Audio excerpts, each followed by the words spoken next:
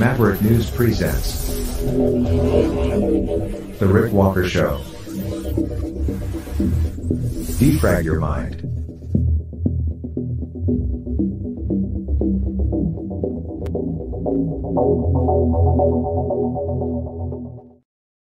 Um, Right. Yeah.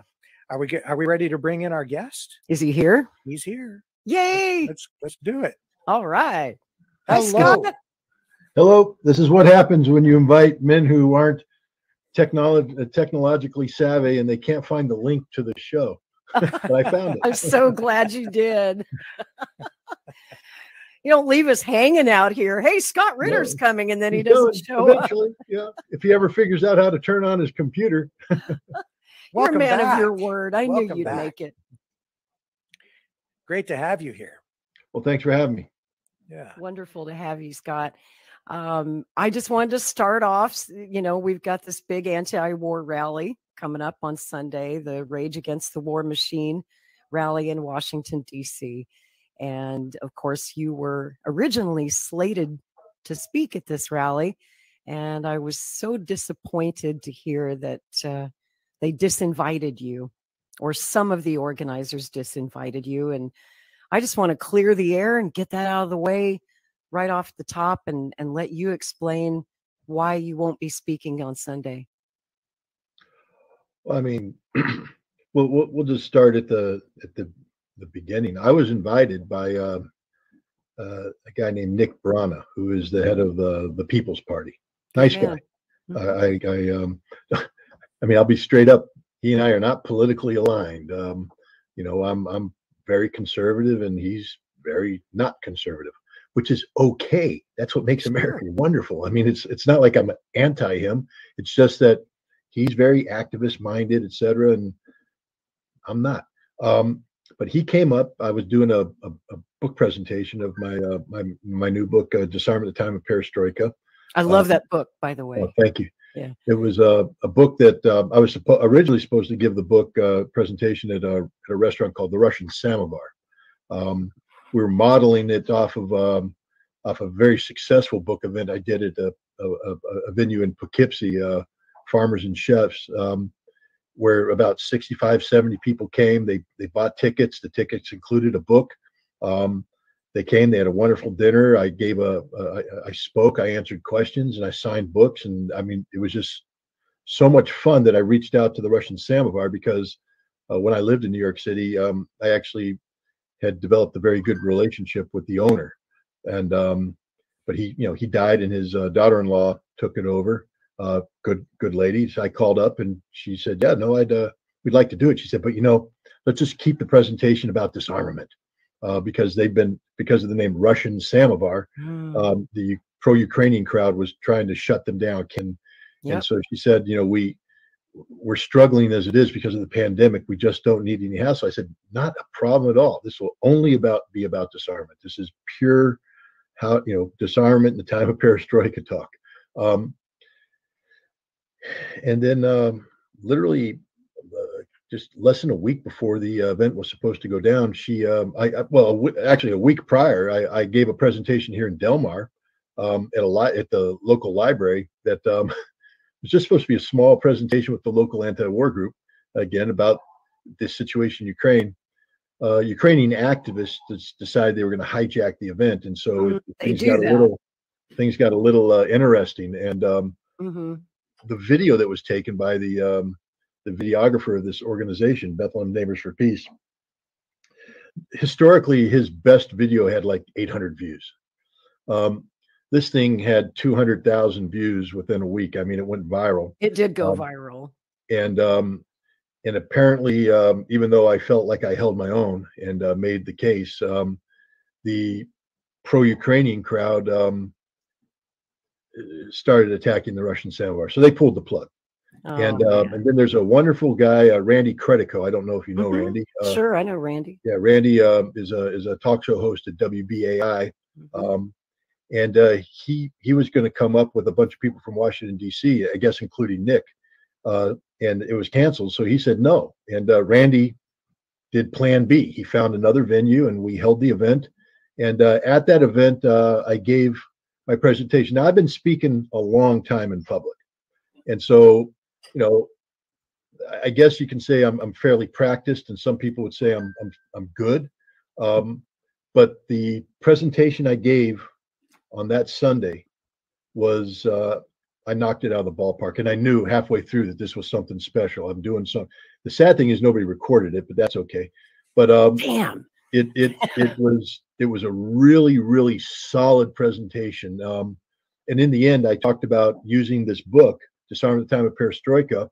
Um, I, I had been thinking uh, aloud with Jeff Norman, the guy I, co- I, I collaborate with on uh, Ask the Inspector broadcast and uh, podcast. Jeff and I have known each other for 20 years now, and we've been talking about, hey, what if we took this book, got the book published in Russia, and then I went to Russia and did a book tour in Russia and introduced this concept to the Russian people. What if we captured their reaction on tape? If we brought a film crew and did this, and we came back and we made a documentary film, and then we took it around the country and started to expose Americans to the reality of Russians and how they feel, how they think, how they feel about arms control, and maybe we could get something going. And man, maybe we could have a million man march in uh, in, in Central Park like they did in 1982 that broke the back the freeze on arms control, got the INF treaty. What if we did that again? What if we did something like that? And Jeff and I were would be excited about it. awesome. Well, but we've been talking about it. I was so caught up in this presentation that I blurted it out. I gave it in, in my question and answer. I said, "This is what we're going to do." I committed to it. Boom. And Nick Brana came up and he goes, "You need to give that presentation at the rally." And I said, "What rally?" He What said, "The big- The big anti-war rally. I said, "I don't, Dick. I don't do anti-war rallies anymore. I got burned on Iraq. Um, you know, I got the scars on the palm of my hand. When the burner remember. turns red, I don't put my hands on the burner anymore. Uh, you know, I learned my lesson. Um, I said, no, I, I really don't want to do that. I wish you the best of luck, but I, I don't want to do this. Ah, Um, but Nick is very persuasive. Nick, uh, he kept He coming and it. coming and coming and talking about how important his speech was and that message, that message. And I was so caught up having just delivered this message and seeing the reaction, I was getting excited. I said, yeah, okay, I'll go. I'll do the thing. But I knew in my heart of hearts it just wasn't going to work out uh, because I am a lightning rod for any Yes. number of reasons. And um, if you know, I have no problem being a lightning rod when people disagree with me.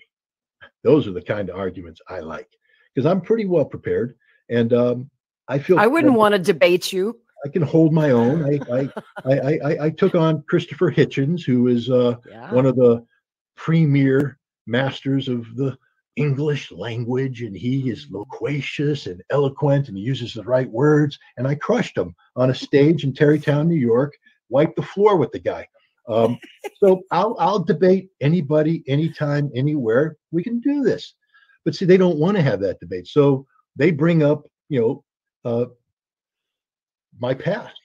Um, and my past includes a criminal conviction for um, what they call a, a, a sexual, um, illegal sexual contact with a minor.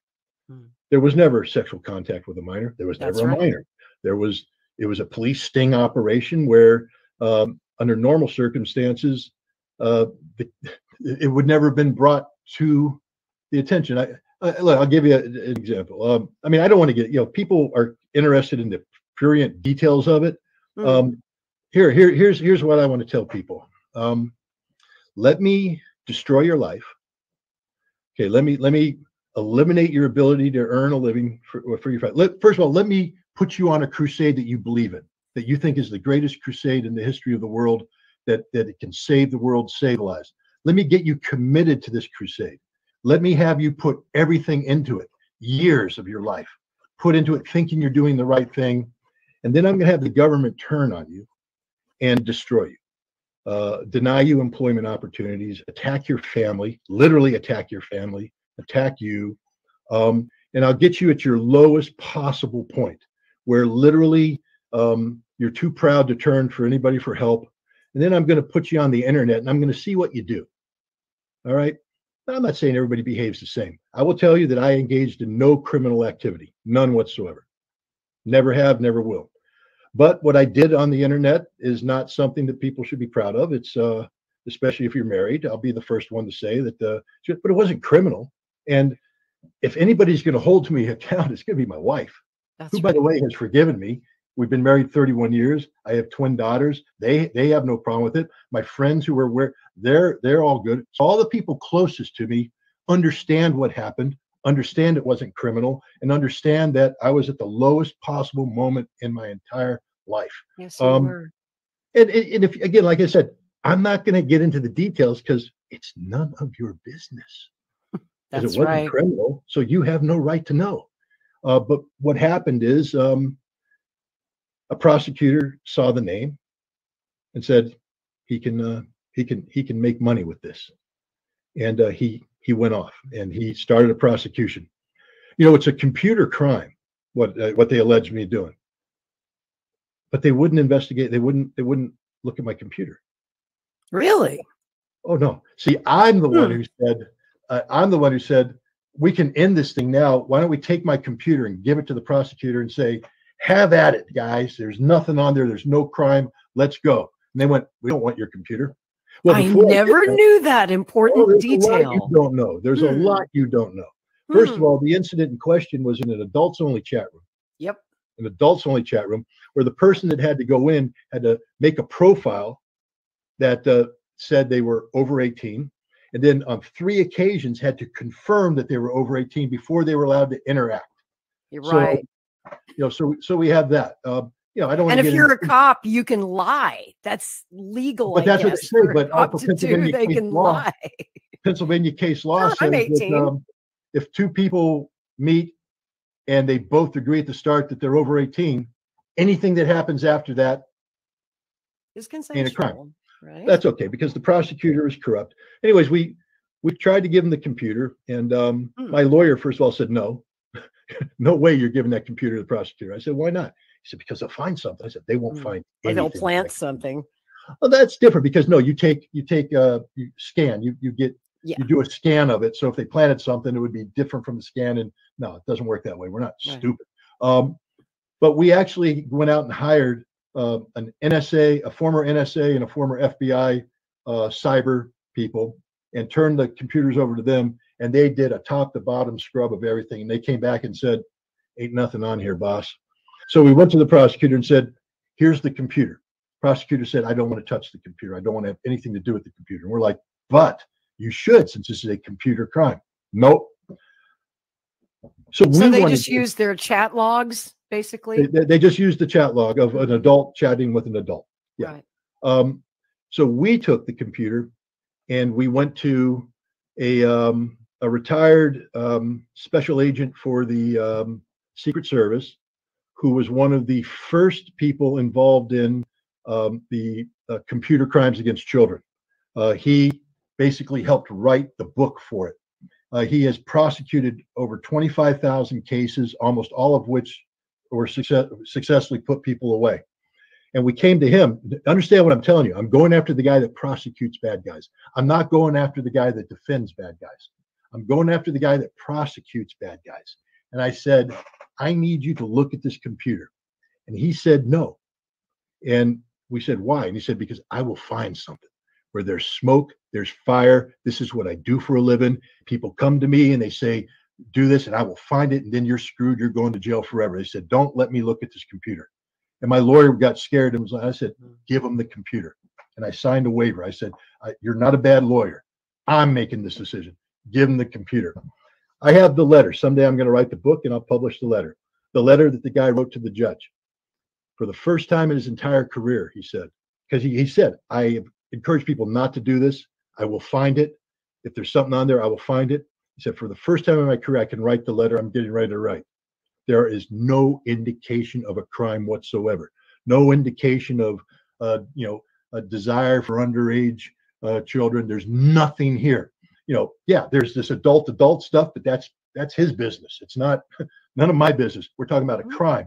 There's no evidence of a crime. Not only that he then went through the police report and he said this is an unprosecutable case. There's no crime that was committed. But not only that the police officer violated everything every you know every investigatory technique etc uh you know entrapment. I mean the whole you know everything you could do wrong as a cop he did Yep, wrong. He did. That's so right. he said you know, not only is there no indication of a crime, but the cop, so he was ready to testify.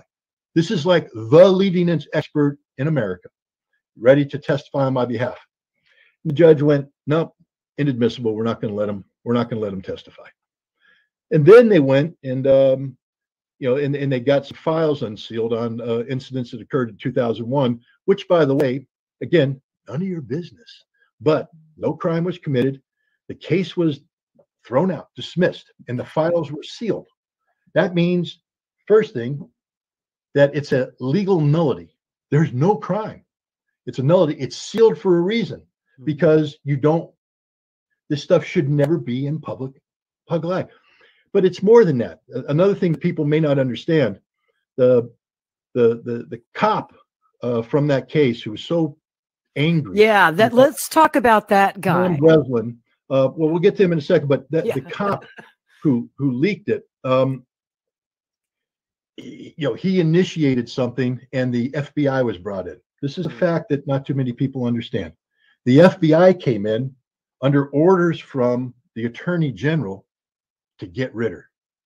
They See, and that's where we left off last time when we had you in for an They interview and we talked. You know, you told the story about how the FBI had been messing with you at that point for well, their their whole over a marching order decade. so the uh, the FBI came in and they broke the law. You know, they did what they did is they got a judge to unseal the files. Illegal as hell. Illegal as hell. Can't do. And I'll tell you why it's illegal as hell because I later challenged that and I won. We took it up to the New York Supreme Court and they came back with a unanimous decision and said you can't unseal the files. It's not allowed. But the FBI got a judge to do it, and then the files were turned over to the FBI, who worked with the prosecutors from the Northern District of New York, right here in Albany, New York. And normally, when this is, happens, you're dead. When the FBI gets files and they go to the Northern District, you're going to go to jail on these kind of charges. Want to You had why? to be just so terrified. No that time. Your crime was committed. No crime was committed. And we went to them and we said, we need you to write a letter that says that. And they said, we, we don't write that kind of letter. What we'll give you is a note that says that, um, you know, that, that, uh, basically that you were a target and now you're no longer a target. Meaning, you know, it's so if uh, an employer comes up and asks, well, you had this, this incident, you could give them the letter and this kind of letter that they'd look and say, okay, this is a clean deal. But the point I'm trying to make is everybody who jumps on 2001 who thinks they know what they're talking about, they don't know what they're talking about. Uh, no crime was committed. The files were sealed. Uh, anything you think you know from the files, and I'm sort of hampered here because um, Hmm. I have an ongoing appeal. And part of the appeal is uh, appealing what happened in terms of the release of the files. I can say that what the public thinks they know is about that much of the record that this much of the record existed and all the stuff that the FBI reviewed and said there is no crime here, let's get out of here, was never turned over to Pennsylvania. It all disappeared magically. All the stuff, and I can't talk about the content of it because that's using something as a shield. And once you use it as a shield, then they're allowed to use it as a sword. We're saying they're not allowed to use the sword. So I can't go into the details of why. There's, you know, that's just if there's a sealed file, that information can never be public. That's right. Um, that's that's that. Pennsylvania, wasn't that where the Cosby case got overturned and he got kicked? He's Well, you, free. what you don't uh, what, because of again, what you don't what you don't know is that my current uh, my current appeal is um, is based on the Cosby case. Bingo. Yeah. Yes, because So, it's the you same know, thing. that- They, the prosecutor used uh, evidence. judge, uh, here we had a judge. Uh, I mean, uh, uh, so they they illegally got the file. They went back to a judge and illegally got 2001. And, and applying to it, what the prosecutor said is, we cannot successfully prosecute this case based upon what happened in Pennsylvania because there's nothing here. Right. We have to have 2001 so that we can manufacture a case. So you have to give us, the, if you don't give us the file, we cannot prosecute this guy. So what he's saying is whatever happened in 2009 between consenting adults isn't a crime. But what they have to do is convince the jury that I really intended to be talking to a, a an underage person. So they they thought they were going to get something in 2001, but they cherry picked it to make a case up. But it was illegal what they did. So Mhm. we went to the judge and said, "You can't, you can't do this. It's illegal. Uh, New York law. We cited it." Apparently in said- Pennsylvania they do it anyway. all, all the the time. Well, case what she said us. is, um, "I will not reverse the decision of a New York court, um, no matter what the, the soundness of your league are, If you want New York, you know," she said, "I will respect the decision of a New York court. If you want to change that, you have to go to the New York court and get them to change it." So we did. And we went to New York. We took it up the chain of command, and the highest court in New York said illegal as hell. It should never have been unsealed. Boom. We came back to the judge and said, "Hey, hey," and she went, "No, we're gonna we're gonna let it stay." Uh, I, I'm just telling you, the fix was in from day one. Um, so I mean, people have a problem with this. I mean, again, if if you're going to tell me that you object to what I did in an adults only chat room with another consenting adult, that's okay. I I actually will say I, I respect that. I understand that. Um, if you're perfect, if your name is Jesus Christ or you're the Virgin Mary, I, I get it. Um, otherwise, you're a hypocrite, and you know, God forbid somebody ever gets a hold of your Google search history. Um, you Let know, he among us who is without sin cast Yeah. that first yeah, and I. But again, if that's their position, I can at least respect that. If you want to take a moral, principled stance based upon non-criminal activity and say, "I condemn you for that," I'll be like, "That's your business, no problem." But what they're trying to say, and I mean the term that's used, you. They're calling me a a twice convicted pedophile. Yes, and that's A, I was convicted once, not twice, and but has nothing to not do with a pedophilia. pedophile. Yeah, I mean, you, and, you- and, you know, I want to make possible- this so clear, Scott, and I'm sorry to interrupt, but I've been I've been answering people on social media now for a month who post they get up in my replies on Twitter and they say, "How can you back Scott Ritter when he's a twice convicted pedophile?" And I'm like, "Hold up. You uh, know, I want to make this so clear. Scott Ritter to the best of my knowledge never ever interacted with an underage girl in an 100%. adult Well, underage person. It He could have been. I mean, interacted. say, oh, with, oh, you're you interacted with a boy. No, he- he interacted I never with an interacted with an underage person who was an adult. I Who presume saying the he cop was an was an adult. adult. who was an adult from the start. Yeah, And, and then and then I mean again I don't want to go into the details, but this adult after engaging as an adult injected a fantasy element. Mm-hmm. Um, stupid, not criminal. Uh, Right. You know, and end of story. But you End know, story.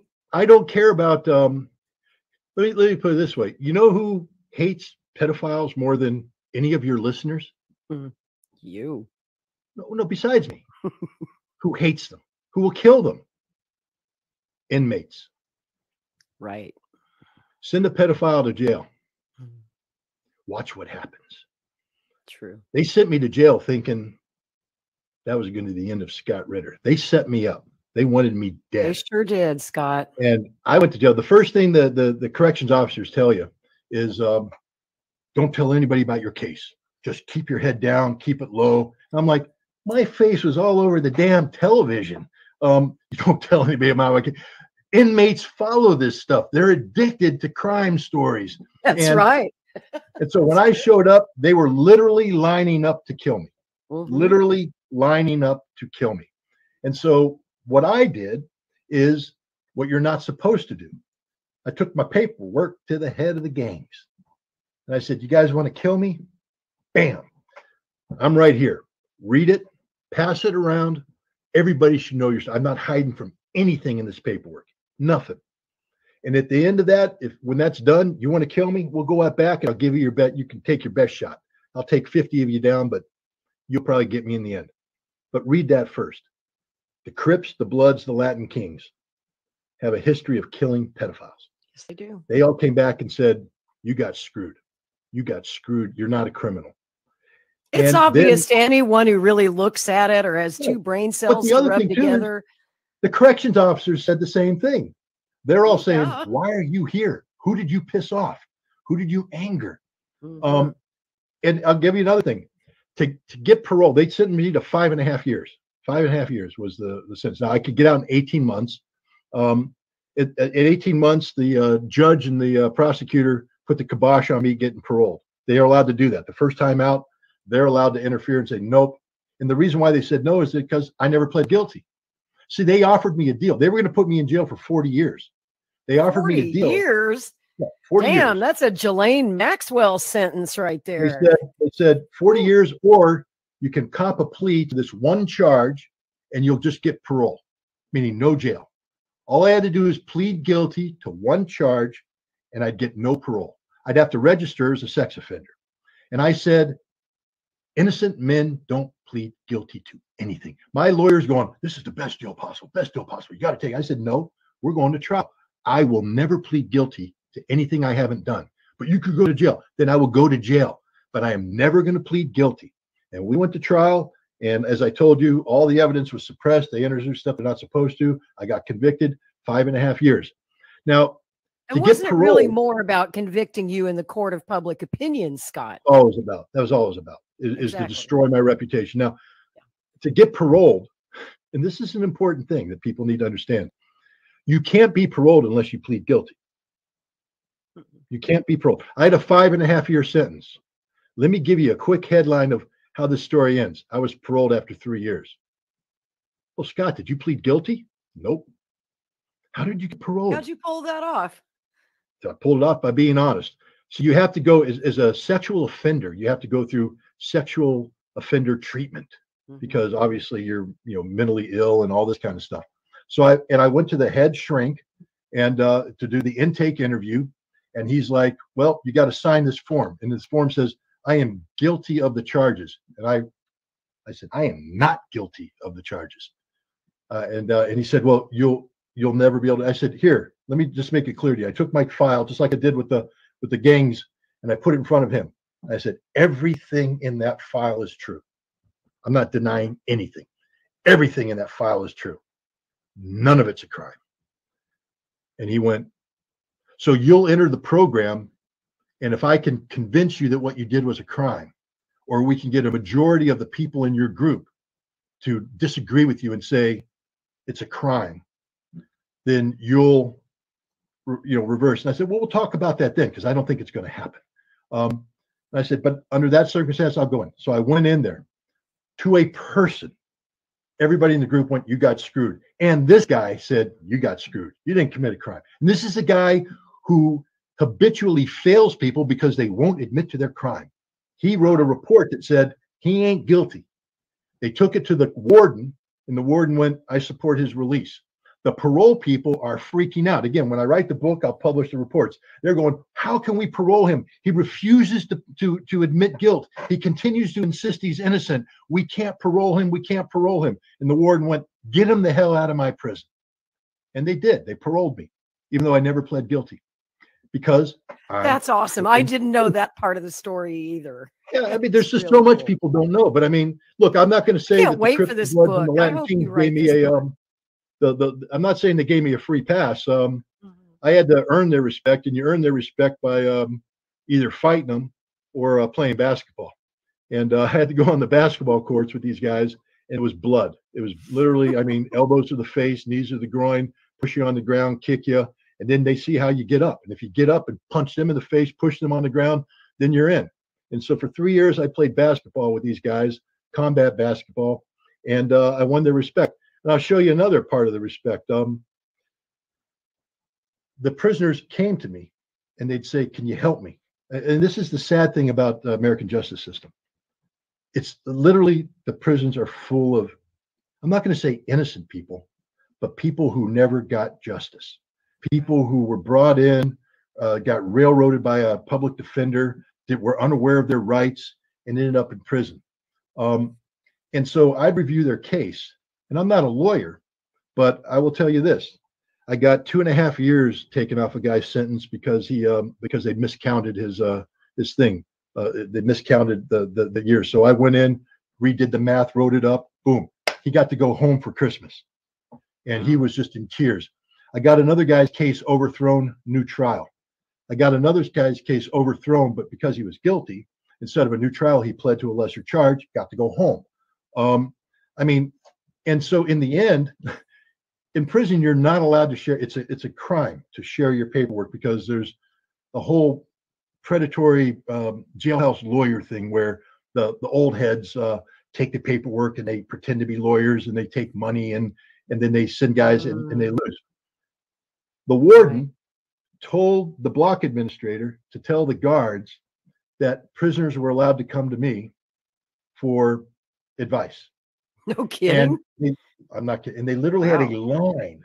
When when it first came out, there was a line of people waiting, and the head guard came in and he goes, "What the hell is this?" And they're like, "No, no, no, we're allowed to." And so what they did is you they did a sign up. So they had a sign up. The, the prisoners would come in, sign up, and then when it was time, you know, all right, uh, six four eight one, six four eight one, go to Ritter, go to Ritter, and he'd come in and I'd have time and I'd review his paperwork, and then when we're done, he'd go in and they call the next guy in. That's how well respected I was in prison.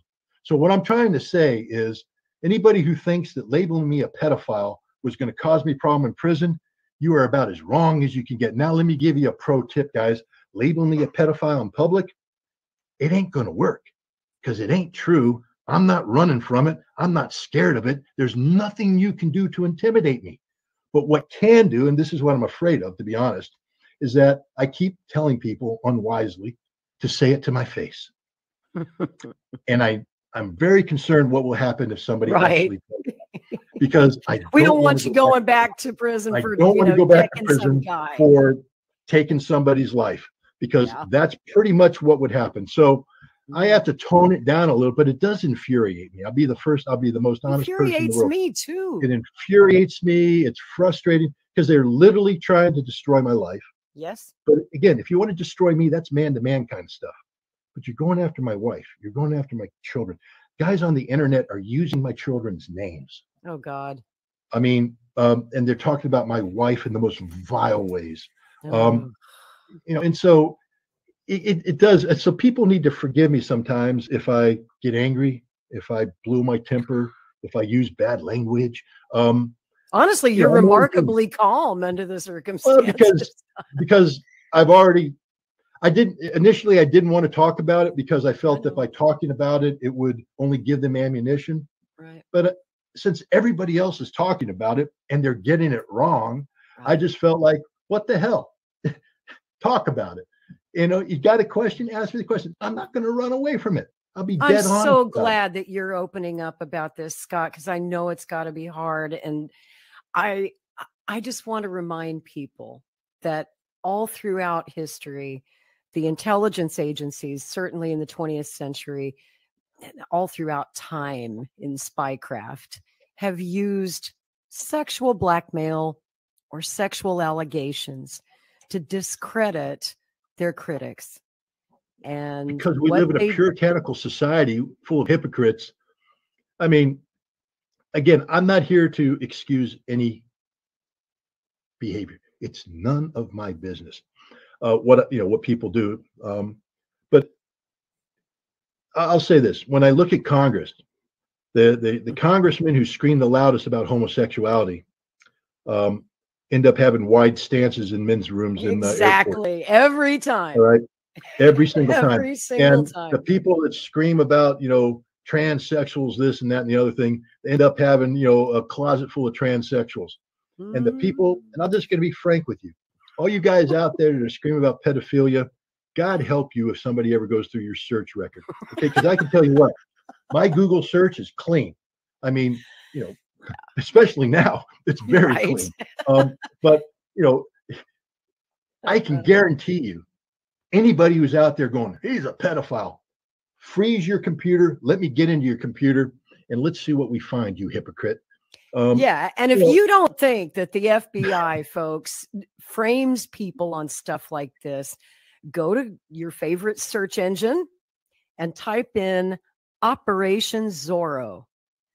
This was the operation that the FBI ran against Dr. Martin Luther King. Martin Luther King. Yeah. in the 60s where they bugged his hotel rooms, tried to catch him with a woman who wasn't his wife, tried to blackmail him, even sent the man a letter, which was pan- penned by, I think, De- uh, DeLoach, Hoover's second in command.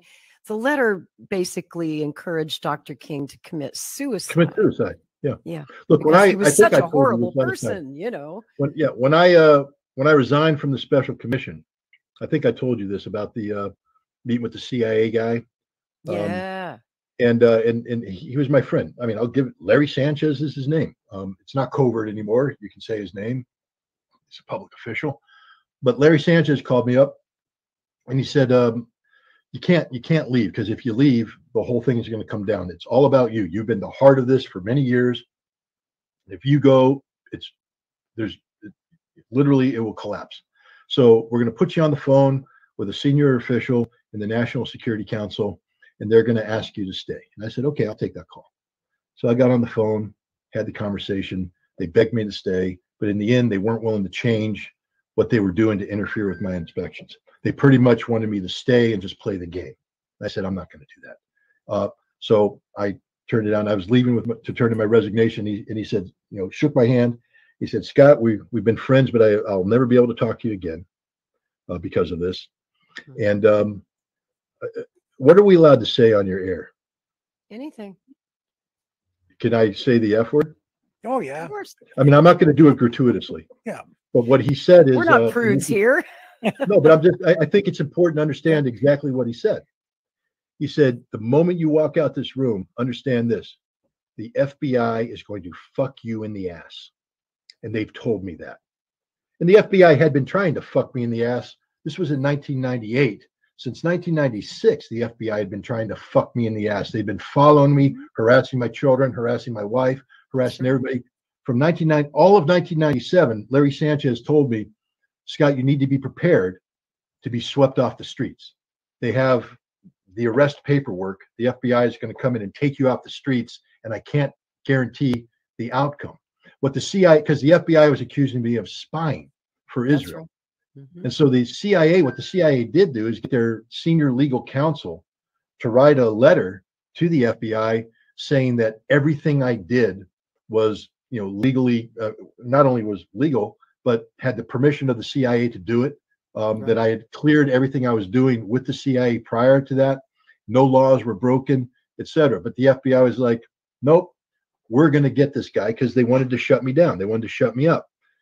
Yeah, That and you know the playbook, what they're doing now, where they say you're a, you know, a- an agent of Putin, a Putin puppet, a Putin stooge, Yeah. whatever. Isn't that basically what they were trying to do with your wife in the '90s, saying that she was a Russian spy? Well, I mean, this is a funnier story. Um, it's funny, but it's not funny. I mean, it's sad. You know, my wife and I we met in Votkinsk, uh, which is the missile factory uh, that I worked at as a, as a weapons inspector. And everybody's going, "Oh, such a love story." No, she was an interpreter. I was doing my job. She actually thought that I was an evil spy. Um, and um, you know, you know, so so that's that. It wasn't, you know, it wasn't until after I got out of the Marine Corps and um and and we our paths crossed again. I mean, to be honest, I I tracked her down because she's she's a smart lady, a good looking girl, and I'm like, yeah, you know, my wife left me after uh, after uh that she she my wife of five years said um you know she can't be married to me because of the Marine Corps. Um, I'm gone all the time. She was right. I was gone about 280 days a year. Yeah, you're married to the Marines. when Um, Yeah. you're in And the so she was like, you know, you have to choose between me or the Marine Corps. So I resigned from the Marine Corps uh, to Mm, save a marriage. loss. And then we went to war. And because I went to war, she said, well, you made your choice and and we got divorced. And I, I don't blame her. I mean, she she did what she did. Yeah. But when I left the Marine Corps, I was a free man. And uh, it was looking like I was going to be uh, working in the in the Soviet Union for H.J. Heinz, the tomato people, uh, building food processing plants. And the food processing plant they wanted me to build was in Pyatigorsk in southern Russia. So I thought it would be a good idea to go to Georgia um, and see, get a lay of the land. And uh, who did I know in Georgia? Well, Marina. Her family was in Georgia. So I would write them and try and get them to give me a, visa to bypass the tourist visa to be invited. And it was a struggle. Uh, funny story. They finally, she finally said yes, but then I got, I got ordered to, to Saudi Arabia. Now, before I initiated contact with her, because I was an intelligence officer, even though I was read out of programs, um, I went to the special security officer and I said, I am in contact with the Soviet because I'm getting out. This is what I'm going to do. I'm, I'm planning on going there, etc. But I wrote it all up and I and I put it on Yeah. record. And he Yeah. wrote it. He said, okay. So now whew, I'm going to war. I read back into the programs. I'm down in Tampa Bay, Florida, and I'm getting ready to get on the C-141 to go off to war. Because I, I'm one of the only people, I had the highest clearances in the land. I mean, I knew Just everything. to be clear, you're talking about the first Gulf War, right? The first Gulf War. This is 1990, uh, 1991 at this point, uh, January. And so I become, they designate me a um, classified courier. They hand me a package of classified information and I have to carry a, a sidearm. So I get a 45 pistol, you know, loaded um, because if you try to take it from me, I kill you. Um, and so I'm going on the airplane and on my way to the plane, walking across the tarmac, two cars come screaming up. Wham! You see, while I was waiting to deploy, I was trying to call Marina's family to tell them I couldn't make it. I was supposed to get out of the Marine Corps and go visit them in February, but now I'm going to war. So I'm trying to call them and say, I can't visit. I, I'm not going to be there for dinner. right and so i'm making the call but i i can't get through i get to the to the operators but you know trying to make a call from the united states to the soviet union very difficult and get disconnected so i never succeeded in getting through these guys stop and they come out and they take my gun away they take the classified information away and they read me my rights and i'm like hmm, what the hell's going on here they pull me into a room and the guy goes this is going to be very short um, why were you trying to call moscow I said, I wasn't trying to call Moscow. And they start going for the cuffs because they got me. I said, I said, I was calling Tbilisi trying to get a connection to Sukhumi. They're like, they look at the record and they're like, yeah, he was calling Tbilisi. Why were you calling Tbilisi? Well, I was trying to get in touch with this girl whose family I was going to visit. And they're like, what? And I said, here's the deal. Reached in my wallet, pulled out, the, I said, that's my special security officer. Smart guy. I said, call him right now. There's a report on file that I wrote It'll have her name and talk that my effort to call them and all that, and he'll confirm everything. They called him up and they came back and they went, This is the craziest story we ever heard. They said, Here's the deal. Here's your gun. Here's the classified information. Get on that airplane and have a good war. Just don't try and call Russia from Saudi Arabia because nobody's going to understand. and so I had I had to go to war on that. So right off the bat, you have this issue. Um, but we got married when I got out of the Marine Corps, and um, in 1994, um, while I was in the Marines, you know, we, we have kids. Her family, her father, her, her parents were refugees. They got they were part of uh, the Civil War in Georgia, so they were ethnically cleansed. So we had them. So you have twins, you have the parents. And it's financially it's it's difficult um, to make ends meet. So while I was deployed into Iraq doing God's work, um, Marina calls up my father and says, um, I want to help Scott out. There's a lot of stress on him about, you know, you know, earning enough money for the family. I want to get a, I want to get a job. And he doesn't, he didn't want me to get a job because he felt that, you know, he didn't want to put pressure. But I wanted, my dad, That's how the trouble started. She wanted my to get a dad said, job. "Yep, why don't you call the FBI and see if they'll hire you as a linguist?" And she said, "Will they do that?" And he said, "Try." So she did, and she took the test and she passed the language test. But then what happened is because I was who I was and the CIA wasn't happy about what I was doing in Iraq, the CIA said, "Oh no, no, no, no, no. Scott's using her to get into the FBI to get secrets about the investigations that she can then give to Scott and then he can give them to who? The Russians? I don't know what they thought.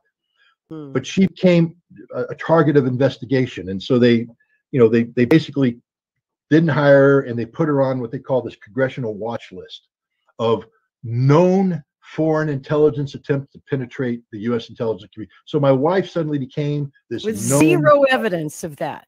None Just put her on a watch list. She's the mother of twins.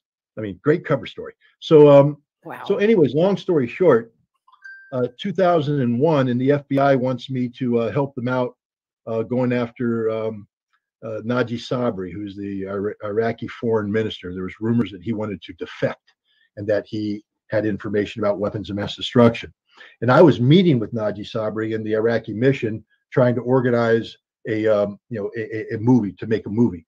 And um, so the FBI came to me and they said, um, "Hey, would you be willing to uh, just go in and, and and just tell us what his mental what what he's thinking, you know, all that stuff?" I said, "Sure, I'll do that. I mean, I'm an American. I don't want a war. I'd like to find out what the Iraqis are thinking."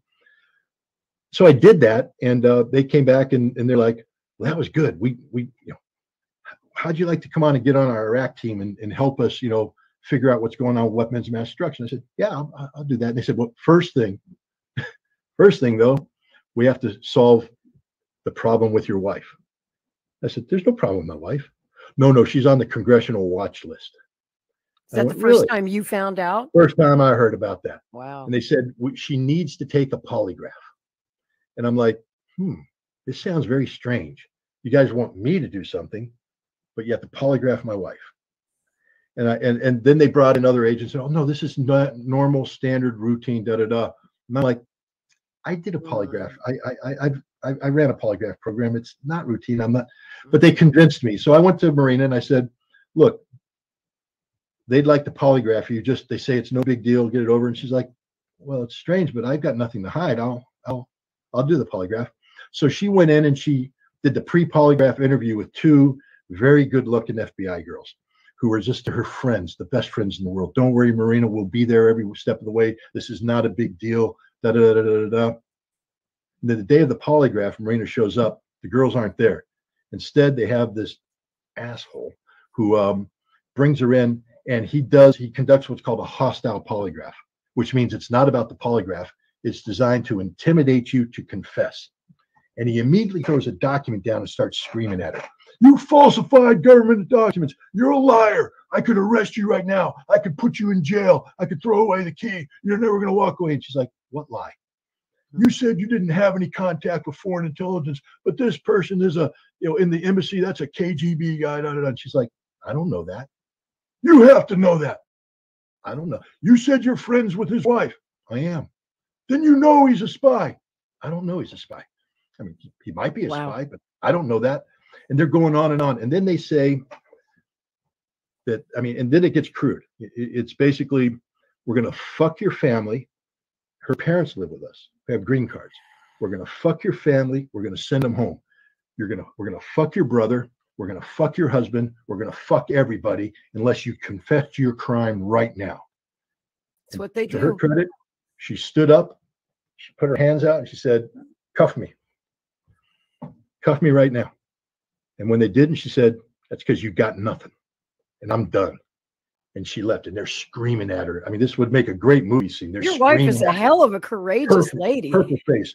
We're gonna fuck you. You're gonna get. You'll never get off the list. You'll never get off the list. And she leaves the FBI headquarters, and they've been going after us ever since. I mean, Yep. I, I mean, I could just bend your ear all night about the things they've done. To the present that's what the day, FBI does right? for a living. Yeah, and here we are again. day. And you know, most of the slanders online against you, certainly on Twitter, come from NAFO fellas. Oh yeah. We need to explain to our listeners who and what NAFO is, who created NAFO, and what NAFO does. Well, NAFO stands for North Atlantic Fellas Organization. It's not a serious organization. Um, they basically are trolls. They they admit that their number one tactic is shit posting. Mhm. Their job isn't to be factual or anything. What they And you've probably seen them. You know, when you're on Twitter, they're always the ones who have the avatar image the of Shiba the, Inus, yeah, Shiba yeah. Inus or whatever, the yeah, dog. the little doggy. Yeah. Mhm. Um, and there's a, a former Marine who came out and he saw. Uh, the long story short is they they create this organization, and if you register with them, then they they issue you a Shiba Inu, Inu meme, and then you can put that on your thing. You're now a fella. But the whole thing about them is, if they see something that they deem to be pro-Russian, then they basically it. put out the call and they swarm it. And the idea is to just basically swarm you, shit post you, and get you to back down, get you to quit, get you to do whatever. Oh, they've then the other thing they do several times. They mastered the uh, the the Twitter algorithm. So by filing complaints against you, they can trigger the algorithm to get you kicked off of Twitter. Um, Mhm. so and they use that draconian German law to do it. They file the Yep. complaints with Twitter saying you're violating German law. German laws. Yep. I mean, right. I- So I- I get- that road. I know you. Have. I get five or six uh, uh, notifications from A Twitter a day. day yep, that I'm uh, that I'm in violation of German law. Me um, too. Fortunately, know, Twitter that- that's ignores what the them, but That's what the fellas do. banned but off Twitter more times than I can count, Scott. Yeah. The, the, the, the, the thing about NAFO is they um they pick a theme. So their theme right now is to take um, my uh, sex offender registration page, Mhm. um, which uh, again, I just want to tell people, Pennsylvania made me a level three uh, sexually violent uh, predator, the highest level possible. Uh, they just again manufactured a case. So when I was paroled, I came to New York, and um, the thing about it is, every state is responsible for assigning their own um, level, and generally speaking, it's automatic. And so whatever Pennsylvania said came over in New York, but there was a hearing, and at first I was just like, I, I just I don't want to do this hearing. I'm just, but then I'm like, no, no, no, no, no, no, no, no. I'm going to fight this thing. So I went to the hearing. I represented myself. I wrote a um, what they call a motion in limine uh, to to because I said the only way they can make me a sexually violent predator is if they allow the unsealed files to become in and interpreted in an incorrect fashion.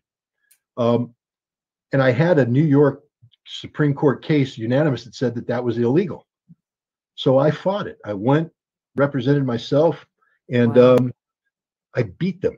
The prosecutor here, um, uh, uh, she knows who she is.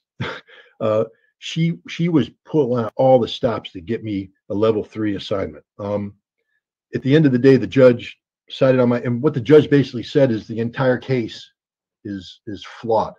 Um, Which it There's was. no case here, but because New York can't overturn a Pennsylvania conviction, the Right. conviction stands. But it's going to be a level one, the lowest level, low level offender. You know, no risk to society. And She so, for me to understand what you say, all these years later, you're still appealing, but you're appealing in the state of Pennsylvania, correct? Still in the pay, yeah, in Pennsylvania. Yep. No, I just got my um. Oh, looky This is there. my this is- my initial response from the uh the Superior Court, and they have remanded because I challenged the lower court's decision. They've remanded it back to lower court, saying that I have a case. So all you haters out there, I'm not going to Wait. You know what I want to say. Just Wait. watch this space. Uh-huh. the, uh, that's- Scott's going to get the last laugh. Be careful, folks. Well, I don't know. I don't know. I, I look. Don't count your chickens before you hatch. That's true. Um, That's true. Can't predict Pennsylvania the justice system will do. and it's there's there's no guaranteed outcome except this: I will never stop fighting. Right. I will never accept the conviction. I will always fight the conviction because that's what innocent people do. Exactly. I think Have you we've you told this story before? It. You got a lot of first-time information. I think we guys. Got ourselves a scoop. Yeah. Yeah, but there's trust me, I'm sitting I'm sitting on a couple boxes worth of stuff that if uh at some point in time when the appeal's over, if I want to, I, I mean, I have a lot of people saying you have to write this story because it is such a gross repres misrepresentation of justice. I mean, what what happened to me, but it's not it's not what a unique. Something- painful book to have to write. And well, I, I, it is. I know Yeah. if you have the support of your wife and your family to tell this story, I hope to God you do. Well, she wants me to tell it. Yeah, She wants me to tell it more than I want to tell it. I would think um, so. but you know she um she's very supportive um look I, I, let's put it this way uh when when when this first came down she was very very angry at me getting ready to tell me to pack my bags and leave the house Who could but blame her? uh, when they when they published the transcript of the interaction she took it she went upstairs and she locked herself in the room and um i can guarantee you that if anything on that transcript had implied um that i was going after underage girls she would have She come would out have and said left your ass. kick well she would have kicked me out She have That's she right. would kicked me out of the house and she came out and to her credit she said um i'm not happy. I'm not happy about any of this. I want you to know that. I am not happy. But she said there's no crime here and we're going to fight this thing. And um and she Hmm. stood by me the whole time you know? Now that's And a Valentine's Day love story, folks. well she she she's the best wife in the world. She stood by me uh, through through the hardest times um and she never lost faith um you know and they tried their best to destroy her. I, and people have to understand this. When you send the breadwinner to prison Right. you destroy the family.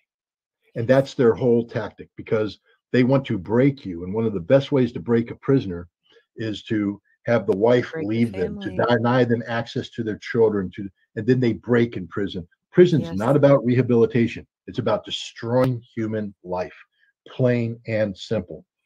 And while i wouldn't plead i wouldn't plead uh, guilty to something i didn't do she wouldn't let them beat and I don't need to go into what she did, but she she ended up working to save our family. She worked four jobs.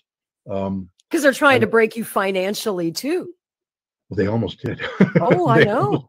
I mean, we're know. we are just now. I mean, it's been I don't know how long since I got released. We are just that. We still haven't turned the debt corner, but we're just now getting to the point where we're like, we might be able to turn that debt corner and get out of the because we had to go bankrupt. And anybody who hasn't gone through bankruptcy doesn't understand what that does to you. You can't get credit cards. You can't.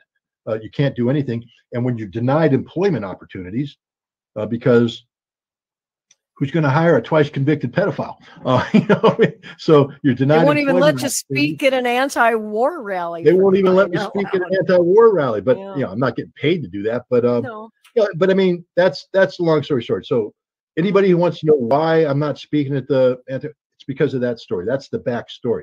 But let me tell you why I should be speaking it, and I'll do this very shortly. Hell yeah. uh, Tell short. them why. Um, in Iraq, I was a weapons inspector, and I did it for seven years. I was uniquely positioned to know the truth about Iraq's weapons of mass destruction program. I wasn't pro Saddam, I was pro truth. Um, you know, all the people that call me a Putin shill today, a Russian propagandist, hey, dudes, man, this isn't my first rodeo. I used to be called a shill for Saddam.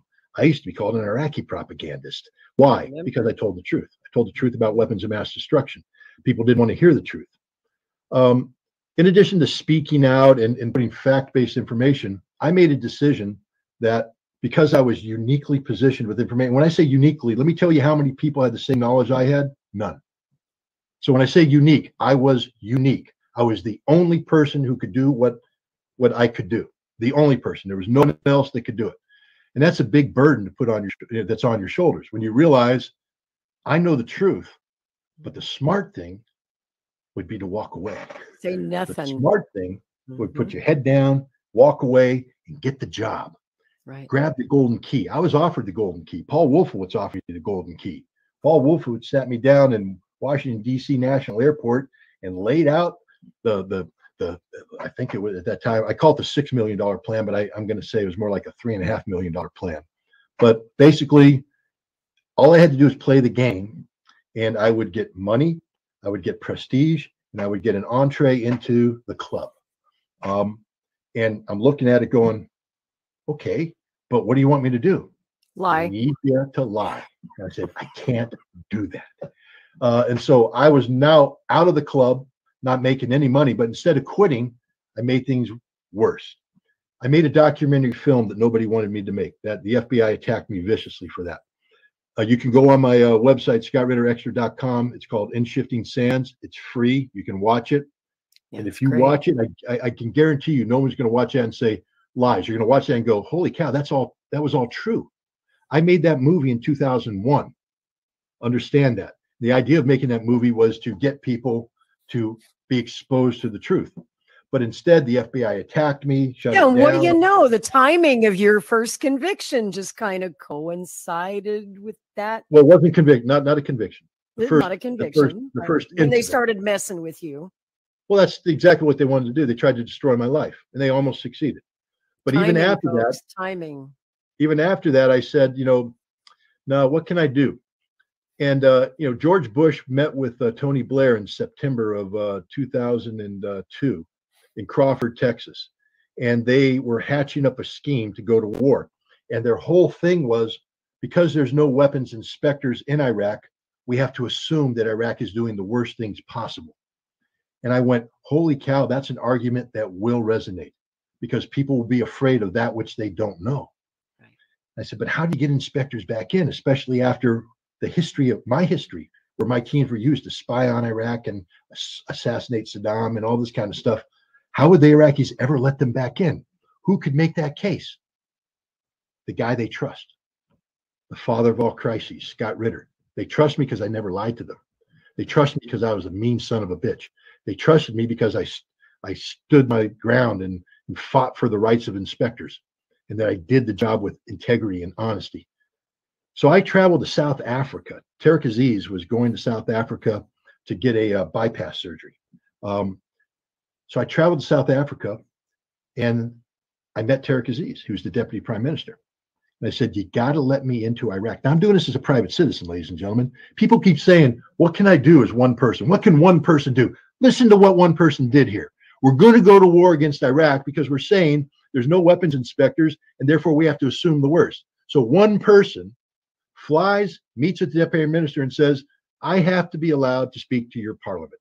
And he said, You're never going to do that. No, no foreigners ever address the Iraqi parliament. He said, Why do you want to speak to the parliament? I said, Because I want to make the case for weapons inspectors to be allowed back in. He said, They'll never be allowed back in. They're all spies. I said, You don't understand. If you don't let them back in, you're all going to die. And I made the case. Tariq Aziz got me into Iraq. I spoke before parliament. Never happened before, ladies and gentlemen. A very unique thing. They didn't screen my speech. I insisted that it be broadcast live with all the media there so nobody could walk away and say anything. After that speech, I was able to speak with the leadership of the Iraqi government to the highest levels. And uh, when I came back to the United States, after I told the Iraqi government they have to let inspectors back in, they said, We'll think about it. I came back to the United States, I was attacked viciously. I mean, I was called a shill for Saddam, I was called an Iraqi propagandist. I was, I mean, everything bad. I was getting ready to go on CNN's Crossfire, where the producer said they're going to crucify you, they're going to hammer you as a, you know, an apologist for Saddam. Um, five minutes before airtime, a news story came out. Iraq just agreed to allow weapons inspectors back in. Why? Because of me, one man. One man got weapons inspectors back in. And that should have been enough to stop the war. It wasn't. But um, when people say, you know, oh, he's not anti-war enough, really, how many of you have done what I did? How many of you have done that? How many of you have put it all on the line? How many of you have put everything on the line? One person going out there as far out as you can get. I got extended beyond what you could understand. And uh, I did everything and I succeeded. I did what I set out to do get weapons inspectors back into Iraq. It's just that the US government was never going to allow the truth to be told. But uh, I at least gave the truth a hearing. And um, so all these people out there right now with their little, you know, he's not anti war enough. I'll put my anti war resume up against yours any day of the week. And there's not a single person out there, not a single person out there that has done what I have done to try and stop a war. So when we come here today, and uh, I want to talk about Russia, I want to talk about this conflict. I want to talk about Russophobia. I want to talk about how we have misconstrued Russia and Vladimir Putin. Uh, and everybody's going, well, you're a Russian propagandist. I'm like, no, see, you called me a Saddam propagandist before. It didn't work. I am simply in favor of the truth, the fact based truth. Let's talk about the truth. And then from that, under, you know, once we get the truth down, it sort of becomes obvious what we should be doing. And we shouldn't be supporting a Nazi regime in Ukraine. But, um, anyways, that's where we're at. Uh, they don't want me to speak at the uh, rally because they're afraid of what I'm going to say. Uh, they don't want me to speak at the rally because um, it's not about anti-war. It's about uh, empowering a certain political party, the Libertarian Party. Um, they want to use the anti-war rally as a way of legitimizing themselves, mainstreaming themselves, but they want to make sure that only they get the credit. Um, so they don't want someone like me to come in and speak and throw out ideas that they're not in control of. Uh, Nick Brana wanted me to give a speech about my book, about my mission to Russia, about trying to uh, build bridges, uh, to break down the walls of Russophobia, to put arms control back on the agenda, to make sure that the world doesn't end in a nuclear holocaust. Um, and God bless Nick Brana. And uh, his his counterpart in the Libertarian Party, she wanted it as well, but her party wouldn't support it. So they insisted that I be pulled from the um, from from the venue after they first they invited me, then they disinvited me, but then all the speakers said if Ritter doesn't speak, we won't speak. So they put me back on, but then they disinvited me again because the attacks, you know, twice convicted pedophile, can't be allowed to speak. Um, and I could have fought them. I actually was going to fight them. I was so mad. Um, people look up New York defamation laws. There's five things you have to prove. Um, all of them were proved except the fifth one, which is damage. Um, you, you, you can't just assume damage. There has to be demonstrable damage. And if they kicked me off this platform, then we have demonstrable damage. And I owned Libertarian Party. And I keep trying to tell them that guys, I owned you. You're really stupid. What you did was stupid. But I agree, I Scott. I have to tell you, I've been a libertarian for 27 years and I broke with my party. I left the Libertarian Party because of how they treated you. Yeah. And I honestly wish you would sue them for slander. And I hate to say Well, the problem is if I did that, longtime libertarian, but they did Yeah. in fact slander you. no, they well, libel. I think was is, is Libel. the yeah the Right. um. But the thing is, here's the thing, and I was going to do it. I was going to do it. You want to go to war? Let's go to war. Um, but then, you know, and I'm not going to give their names away, but these are well-known people who are speaking, and they came up, and, and Nick came up too. Nick Nick said, They Scott, for you. you have every right to do what you're doing, every right to do it. And we wouldn't condemn you if you did. But one, if you do this, there won't be a rally. The Libertarian Party will pull the permits and they will shut this thing down. There won't be a rally. And all the people we've worked to come and speak at this event won't get a chance to speak, and we may never get them back together again. Right. And then the other thing they said is, even though you're right, this will become about you. And people will say that you're petty, that you're that you put your personal interests above that of the collective. And I'm well, I'm like, yeah, I mean, I've been attacked for so long. Maybe it's time I did that. Um, and I have the perfect opportunity now. I have a legitimate legal case that can go out there and challenge people who like to label me pedophile. What Um, a choice to have to make, though.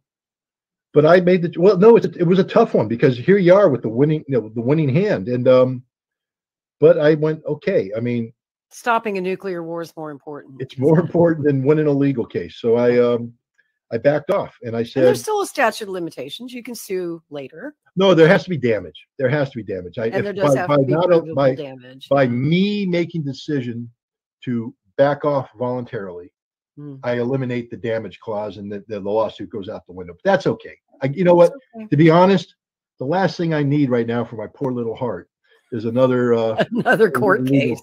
yeah, another court case. So um, you know, I got one going right now for my reputation and my future. Um, you know, to, Where do I go to get my reputation back? Right? Isn't that the old? Yeah, but you know, the other way you get reputation back is just to be you, be honest about it. That's Um, right. you know, like I said, you know, if you guys think that Scott Ritter's the perfect human being, you got another thing coming. There ain't no nothing perfect about me. I'm not a bad guy. I'm a good friend. I'm a great father. I'm a great husband. But I'm as human as the next person. I'm not, you know, literally, um, no. so I was a Marine, people. I was a Marine. Okay, understand what that means. Um, we're we're lot of we all look good in- testosterone. I hear in the we all look good in our uniforms, but um, you know, we are very energetic people, and um, and and Marines are known for hard drinking and whatever else they do. Um, I'm not proud of it. I'm not bragging about. it. I'm not saying it's good, but I'm not. I'm not trying It to is it something I wasn't. Um, but I will say this too: at my trial, um, I had easily oh, 20 letters from um, women who I had interacted with professionally uh, in the anti-war thing, all writing to the judge saying, "I have never met a more professional person, a gentleman. He, there was never any untoward activity. He never did that." So, is even though I'm saying that I was human, I never, ever, ever, ever mistreated a woman. Never once in my life have I mistreated a woman. Never once have I assaulted a woman, sexually harassed a woman, anything like that. Um, did I did I drink to excess? Yeah. Did I get in fights? Probably some I shouldn't have gotten into. Um, you know, things like that. But under, you know, everybody's like, well, you know, that Scott must have a sexual history. Not as much as you think it might be, guys. Um, I was actually a gentleman. I was raised to be a gentleman. I was raised to treat women right, and the record is clear that that's that's the case. Again, I'm not saying I'm perfect, but I'm not a bad person. Um, and if all these people want to label me as something, it ain't gonna stick. so nice try. You know, I want to uh, share with people. I'm going to bring up uh, your blog. You wrote about this, and I'd like to direct our listeners to read this blog by Scott Ritter. Can you guys see that? There. There you go. Go to No. scottritterextra.com. And Scott, I mean, what he told us today is probably even better than the blog because he went into much more detail. But here's the blog. Get out of my damn backpack. That's from um, uh, the the movie. Uh, it was a George Clooney movie, um, uh, Up in the Air, uh, where he is the guy who goes around and fires people and, and you know and all that. But he gives a great speech in there. His character gives a speech about uh, a backpack and um, how if you're going to go on a journey, uh, what's in your backpack and what you end up putting in your backpack. And you know, I want to go on this journey. I want to go on a journey that will break down the walls of Russophobia and hopefully end up with a million person uh, march in uh, in Central Park that puts puts arms control back on the political agenda. I think people need to understand what I'm saying here. In June of 2024, I want to do my best to get a voting block that tells the politicians that are running for election for national office in November 2024 that arms control is on the table, just like any other issue is, and that if they don't support arms control, if they don't articulate in favor of arms control, they won't get the vote of this massive bloc. I want to empower arms control, not so, as a libertarian, not as a Republican, not as a Democrat. So that's my journey. I have this backpack, and um, I need to make sure that that backpack isn't full of, you know, nonsense.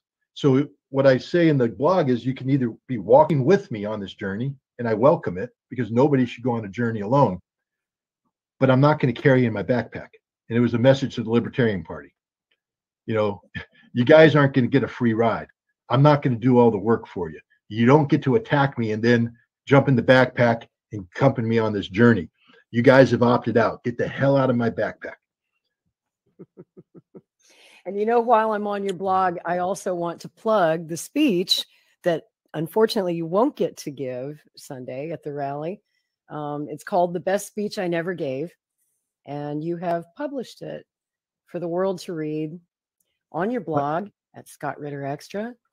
And, and a lot of people asked me to uh, to record it. And so Yeah, I was going to ask you to read it today, but I think you have well. What we did is um, Jeff Norman, again, a good friend of mine, um, we actually I I I, I gave this gave the speech and he recorded it and he's doing some uh, editing. Oh, nice. And um, we're going to the uh, the anti-war rally begins at twelve thirty on Sunday. At twelve noon, we're going to broadcast this. Uh, we're going to stream this uh, this speech. Oh, cool. So we're going to kick off this rally with the speech they didn't want me to give. So I guess I have to change the title. Are you also going to be speaking at another event concurrent to the rally? Not concurrent. Um, the the rally, whether I physically attend the rally, I mean, I'm going to be in Washington D.C. Um, there, you know, I'll, I'll do that. Um, Still time to I, change your mind, libertarians. Invite him back. I don't know because here's the thing. Um, there's so much rancor. There's so much. I mean, people have. I've received death threats by the dozen. Um, and so there you know i'm not a coward but i am a little concerned uh, you know do i go there and what happens if a guy takes a swing at me do i really want to spend sunday night in jail waiting for a monday morning court appearance that won't happen until tuesday because monday is president's day and no i don't want to do any of that way to ruin so, a weekend yeah so i don't know but i am um there's a there's a great uh, a great guy named um uh, uh Caleb uh, Maupin. I may be mispronouncing. Caleb, that's our friend Caleb. Caleb. He's been on the show. Yeah, uh, good guy, uh, and he, guy. he he heads he invited you, didn't he, to the CPI event after the rally? I hope you'll come. And, and, I am going to the CPI event uh, because they are quality people. They are, and um, and they have what, what's interesting is they have a, a group. There's a a guy I did his uh, brought uh, I've done his podcast. Uh, he's just a college kid, uh, Bradley uh, Wasser, I think his name is. Um, and I, have done his pod, and um, he asks great questions, and his podcast gets a lot of attention uh, whenever I go on it, which is I'm glad for him. But he represents a demographic of college kids who are politically motivated and they want to do the right thing. And um, man, I couldn't think of better allies. So I'm going to go there and try and build bridges, try and build alliances, and see if uh, you know C- Caleb and uh, and Bradley and all the CPI people want to join me on this journey uh, and we can end up in Central Park with a million people. And let me tell you, my book just got picked up in Russia. Oh, it's getting awesome. published. Now I'm, I'm breaking news right here. It's getting published in Russia. And I'm going on a book tour in Russia. And I'm bringing a documentary film crew. And then we're going to make a documentary film that I'm going to then take around the country and as a trailer to attract attention amongst groups in the country and on in June of 2024, we're going to premiere it live in Central Park as part of this demonstration.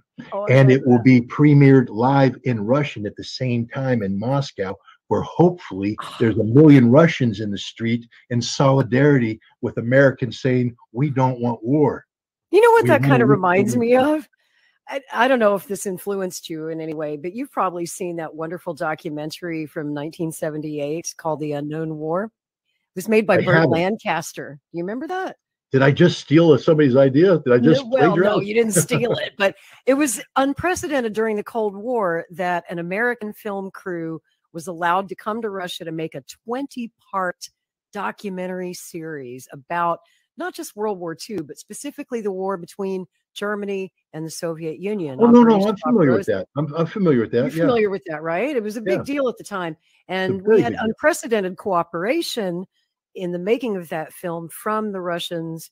Uh, they were allowed access to the Soviet film archives. And it's honestly, I've been binge watching it for the like the last four weekends. It's so good. It's free. Well, we're not going to make a twenty-part series. We're just Yeah, going to that's make a one. big, that's a We're going to make one feature length documentary, but the goal is to premiere it um, on that date. That'll be the world premiere as part of this uh, thing. We're, you know, I, I've got to get some allies. I got to get some people that understand how to do this kind of stuff. We we have some ideas. Uh, you know, there's this guy named Roger Waters.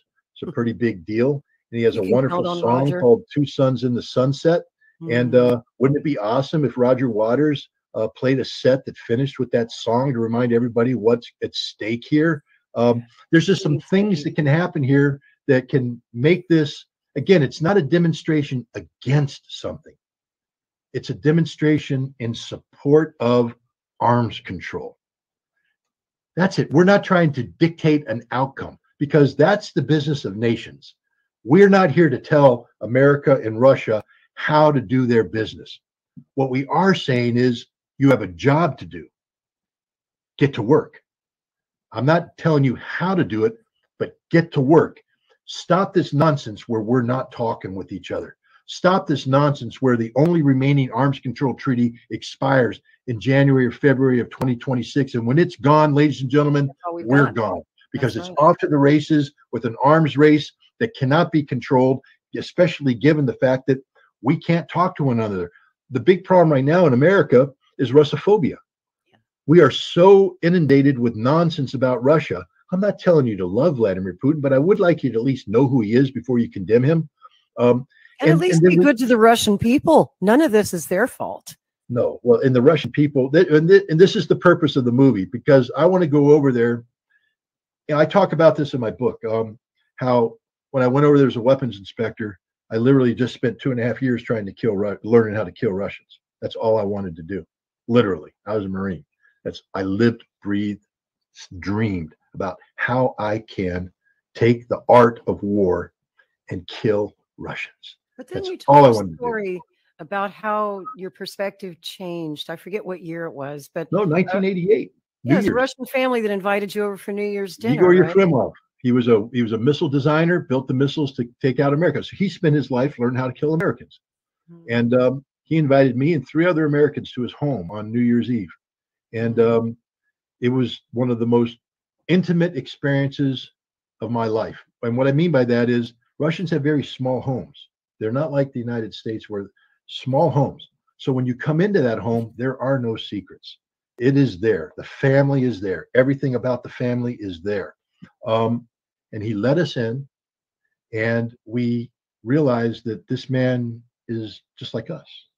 He loves his wife. He loves his children. He loves his neighbors. He invited his neighbors in. They tell jokes. Some of the jokes are good. Some of the jokes are bad. Um, you know, they cry. They laugh. They can get angry. They they're just they're human beings. And then they took us down to the street, and they have the giant Christmas tree in the in the center of town, and the entire city gathered around, and uh, we're singing songs and greeting people. And you're sitting there going, "This is communism." This is paradise. And I don't mean that naively. I'm just saying, wow, humanity. And I stopped hating Russians that night. I fell in love with Russia. Not the blind, naive love, but I realized these are fellow human beings. And what we're doing with this treaty is a good thing because I wasn't all on board with this treaty up until that point. I was doing my job, But I was more about playing the spy versus spy game. Yeah. Um, at that point in time, I said, no, this treaty has to work. This treaty is what it's all about. This treaty is how we end, This is how we Cold end a Cold War. how we begin something new. And the treaty did its job. Understand that we failed going on. We we we didn't follow through, but that's not the treaty's fault. And I believe that the, the United States and Russia, we deserve a second chance. And that's why I wrote this book, because this book isn't just about the history of the INF Treaty.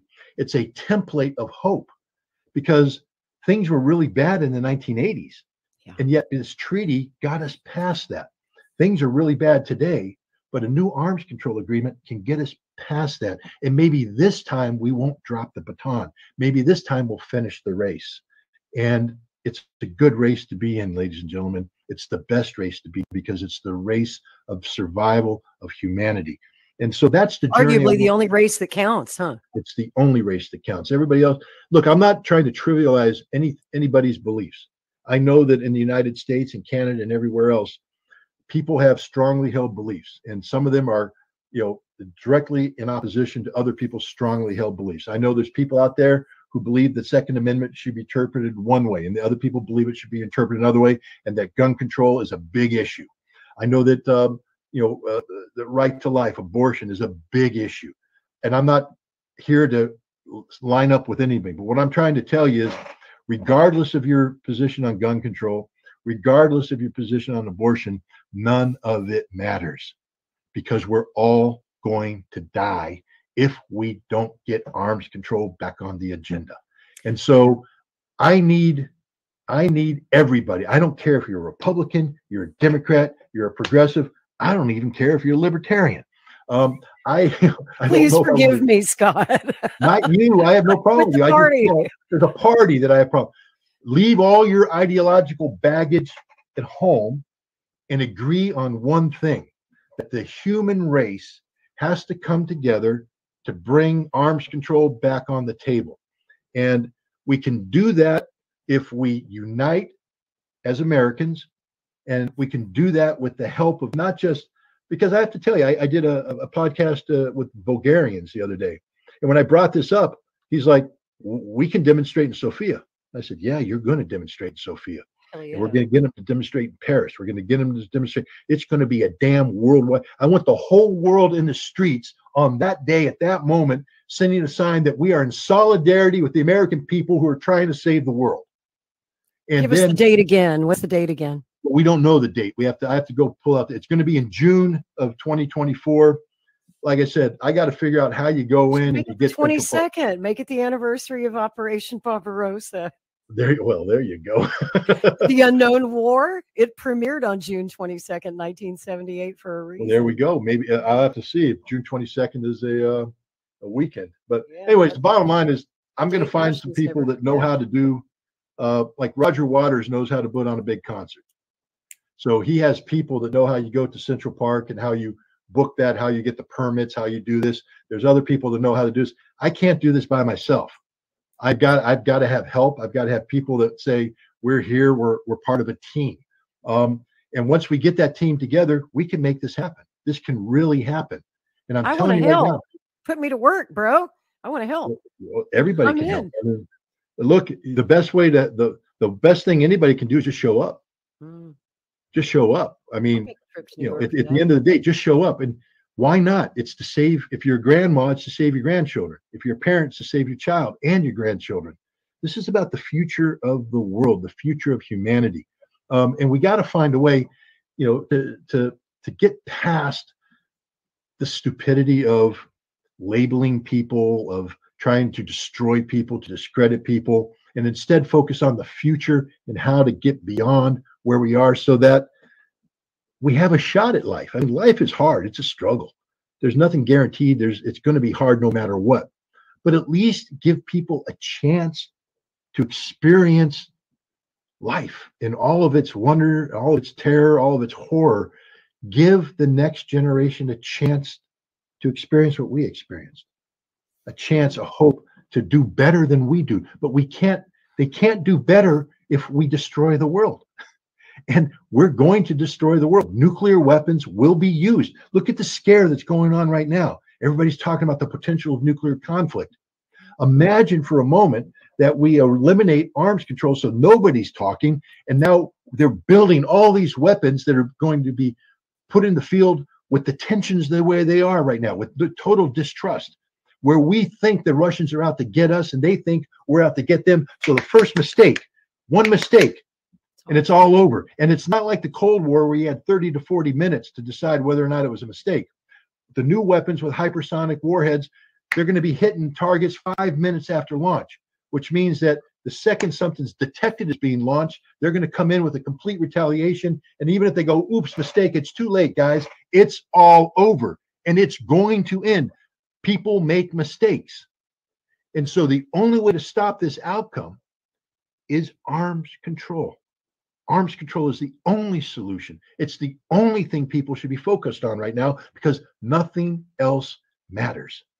And don't tell me I hear people, that's a job for the Arms Control Association, the professionals. They got us where they're at, where we're at right We've now. been waiting for them to do something and they haven't. So it, the professionals don't get no. The professionals, when they get the, what we need to do is go above the professionals' heads to the politicians. Ronald Wilson Reagan was the biggest Cold Warrior you'll ever meet in your life. This is a man who did not like, and they were the evil empire. He That's didn't right. like them, didn't want to like them. He's the kind of guy that joked, if you remember, thought the, the, the, the microphone was off. I just ordered the missiles to fly against Russia. Ha ha ha ha. He's the guy who approved the plan in 1982 to blow up the Trans Siberian pipeline. Yeah, Do you remember that, did. Scott? Yep, You're, they- you're an old fart like us, so I And know they did you blow it up. remember that. they did blow it up. yeah, we did blow it up. Now we We didn't did find blow it up. out until 2010 when a CIA agent wrote Finally, a book finally told the truth about it. and finally told the truth about it. So with all this talk about the Nord Stream pipeline and Sy Hersh's big article last week, I just wrote a piece today about the Trans-Siberian pipeline explosion that everybody forgot about. At the time, it was the largest non-nuclear explosion on nuclear- planet that's Earth. right. And Ronald Reagan authorized that. That's how much he hated the Soviets. That's how much he hated. But but Mhm. and and and and I'll tell you what. In 1982, um, you know, Paul Nitze, who was one of who was the INF negotiator, did his walk in the park with his uh, Soviet counterpart. And even though they hashed out an agreement, the system was so stultified that the agreement was put away. We just weren't going to have an agreement. A million people showed up in Central Park. I remember that. And when they showed up in Central Park in huge. 1982, they sent a signal that Loud the people clear. want this. And you know what happened? The system responded. Not the experts, not the Arms Control Association, not the guys with the ties and all that. The politicians who need the people to get elected. And they went, Mhm. um, we need to we need to respond. It took five years, but in 1987 they signed the Intermediate Nuclear Forces Treaty. It works, ladies and gentlemen. It works. So let's do it again. And you know those treaties, just like when Kennedy and Khrushchev hammered out the nuclear test ban treaty after the missile crisis, they put their heads together and said, you know, this is madness. We have to, we Yeah. have to do something about it. And they tried to warm up the Cold War. We all know what happened after that. Kennedy was killed, Khrushchev removed from power. And then it didn't happen again for another 25 years when Yeah. Reagan and Gorby were And finally took- able to sit down and see each other as human beings, just like you did with your Absolutely, yeah. friend in Russia. And once you've made that human connection, How do you how do you go to war how do- against them? yeah, how, how do you kill them? How, how do you go to war against them? How do you even consider uh, nuking their country? Once you've yeah. made that human connection, heart to heart, I- I had eyeball a- to eyeball. I had a good friend um, named uh, Robert Polk. Um, he's an author, um, but he was also a diplomat, and he was uh, with Kennedy during the Cuban Missile Crisis. Oh, wow. and he he was you know one of the guys that was in the middle of it all. Um, and he and I were going to write a book.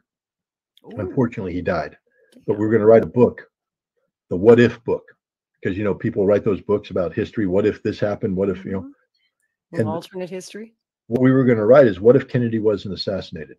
Mm, What if uh, instead of being killed in Dallas, he lived? And what that meant for arms control? Because as you just hit on it, because of the Cuban Missile Crisis, Kennedy and Khrushchev realized that this can't happen again, and they began a process Start to have a dialogue. of, of work. Kennedy created the Arms Control and Disarmament Agency. They were beginning this process of putting arms control mainstream, and then bam, he got hit. Johnson came in and tried to resurrect it, but Vietnam got in his way. Yep. He got he, he got the civil rights thing.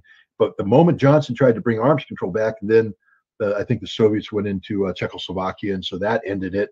And then Mm. Carter tried to bring it back, but the Soviets went into Afghanistan, and that ended it. And it wasn't until Reagan and Gorbachev were able to get together '87 to get arms control back on the on the agenda. But And just think it could have happened in 1964 because I don't know if Yeah. your friend knew this who was around Kennedy then, but uh, several of Kennedy's closest advisors knew that he was planning a trip to Russia. After he got elected in 1964, he planned to make a state visit. That's what he was confiding privately because he saw Fidel Castro make that big ballyhoo trip to the Soviet Union in 1963 and Kennedy was trying to smooth things over with Castro as well. And he saw how well received that visit was. And I think Kennedy thought, hey, I need to do that. I need to be the first American president in a generation to travel to the Soviet Union on a goodwill mission and to sit down. I mean, he'd already sat down with Khrushchev in Vienna two years earlier.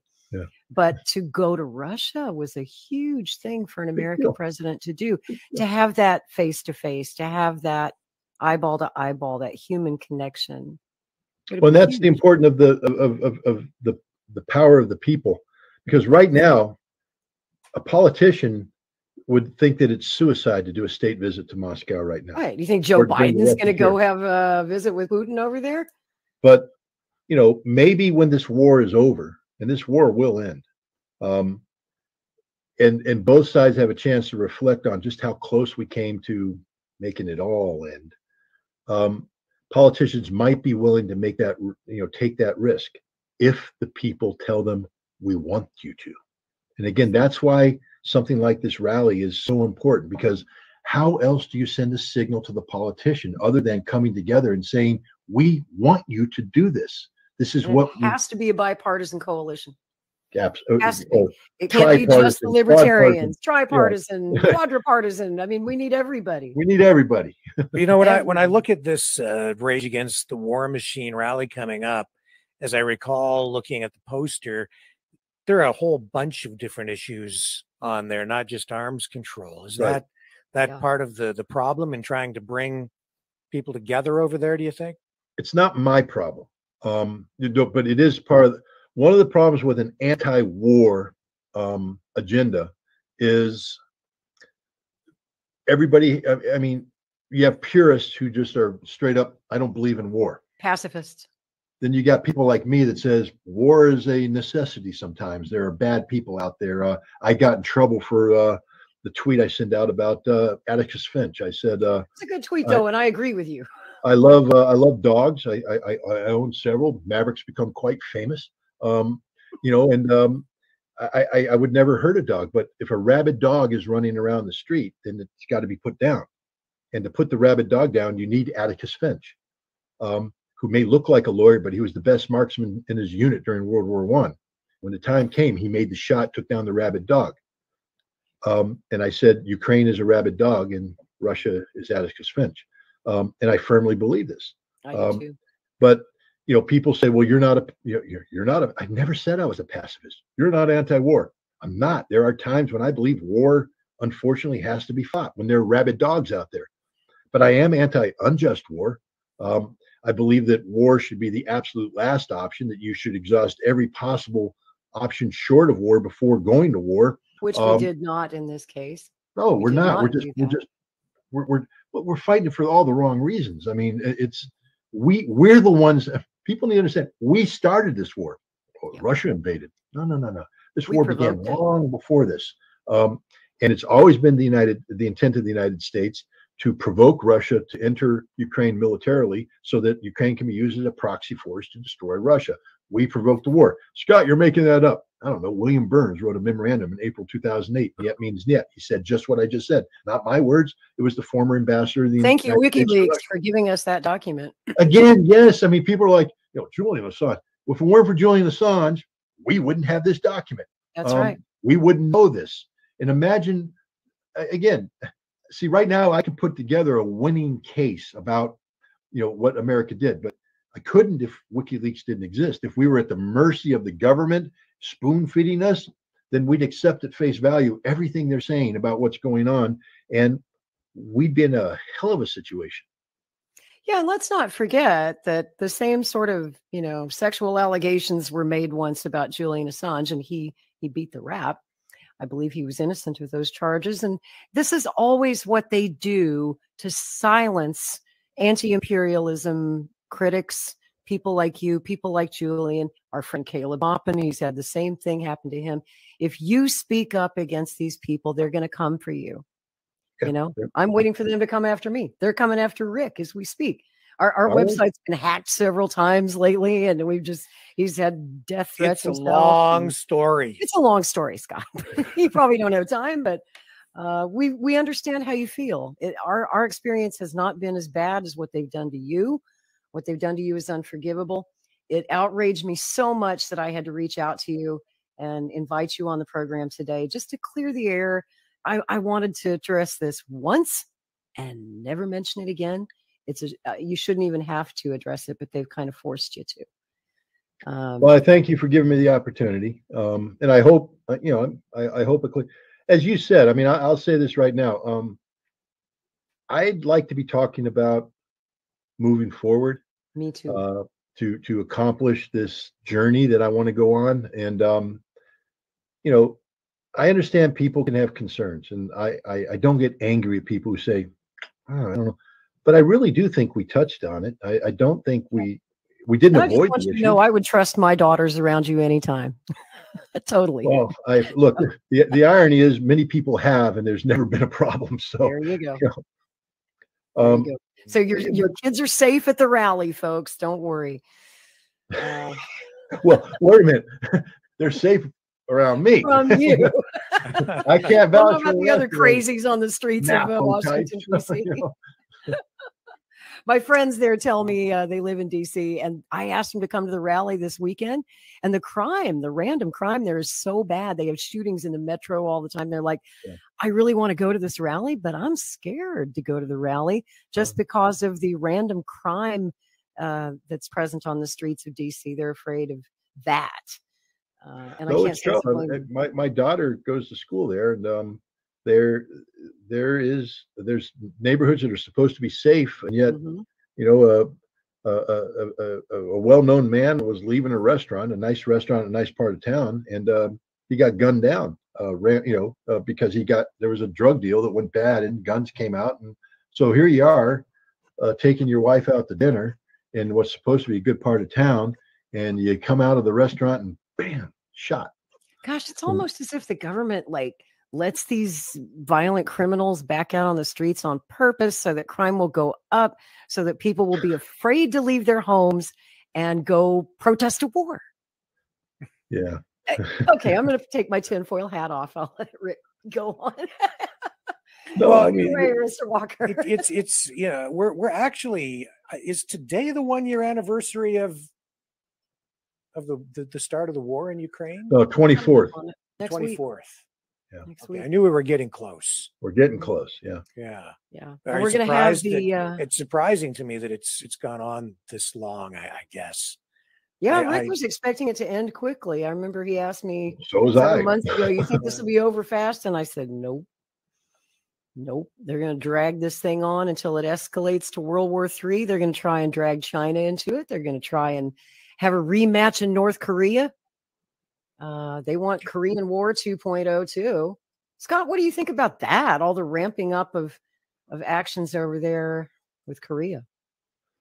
I think it's stupid. Uh, you know, I'm not the biggest Donald Trump fan in the world. Um, I did vote for him because um, uh, I was even less of a Hillary Clinton fan, and um, and um, I I think people understand my history of Joe Biden, so I wasn't going to vote for Joe Biden either. Um, but you know, Donald Trump uh, has a lot of baggage um, and a lot of problems. But when when the system gives you two choices, uh, I picked him both times. Um, and one of the reasons is that he said, um, you know, that he thought we could be friends with Russia. And I said, well, that's good. And then he also said he doesn't know why NATO's still here. I said, well, okay, we're we're so far we're doing all right. Um, and then he said, um, You said I love WikiLeaks. yeah, I love WikiLeaks. And why don't we work to get rid of North Korea's nukes uh, using diplomacy? Um, you know, here's Donald Trump, who everybody, you know, again, there, there's a lot there to not like about the guy, but he went out and he met three times with Kim Jong Un in an effort to get nuclear weapons off the table there, to de-escalate, to um, to do So the best things he did. he was stopped by the establishment, betrayed by Mike Pompeo and John Bolton. And I'm here to tell all the Republicans out there uh, if Pompeo throws his hat in the ring, don't vote for him. Oh, And Nikki Haley just threw her hat in the ring, and Oh, John no. and John Bolton is supporting her. Don't support her. Uh, John Bolton is evil. Mike Pompeo is evil. These guys conspired to um, to block something that could have been wonderful. A chance to take nuclear weapons out of the equation, end a war in Korea, and actually let peace break out all over. And that could have been Donald Trump's, you know, crowning achievement. But of course, we could have never allowed Donald Trump to have that crowning achievement. So they shut it down. They just, you know, they they attacked him, and you know, the the, the rest is history. But you know, Joe Biden, instead of trying to pick up the pieces of, of, of Trump's failed effort and, and run with it, has made it worse. And we're now at a situation where North Korea is no longer not only not talking about denuclearization, they've doubled down on their nuclear program. They have a viable nuclear program now that's deterrent based. Um, but their whole thing is if we go to war, uh, Japan will no longer exist. South Korea will no longer exist. And guess what, America? You'll no longer exist too. They've made So it very clear just this week in a statement that they will match us nuke for nuke. If nuke they're nuke. like, if you want to play games, United States, we will. and, and what most Americans don't understand is uh, every year the United States holds these joint exercises with the South Koreans. Mhm. And one of the things we do is we gather all our airplanes and all the South Korean airplanes and we fly straight to the demilitarized zone. Pyongyang, which is the capital of North Korea, is a very short flight from the DMZ. And we come in there, and the last second we break off. But it's a bum rush towards the North Koreans out. Why? Because we're planning a decapitation strike.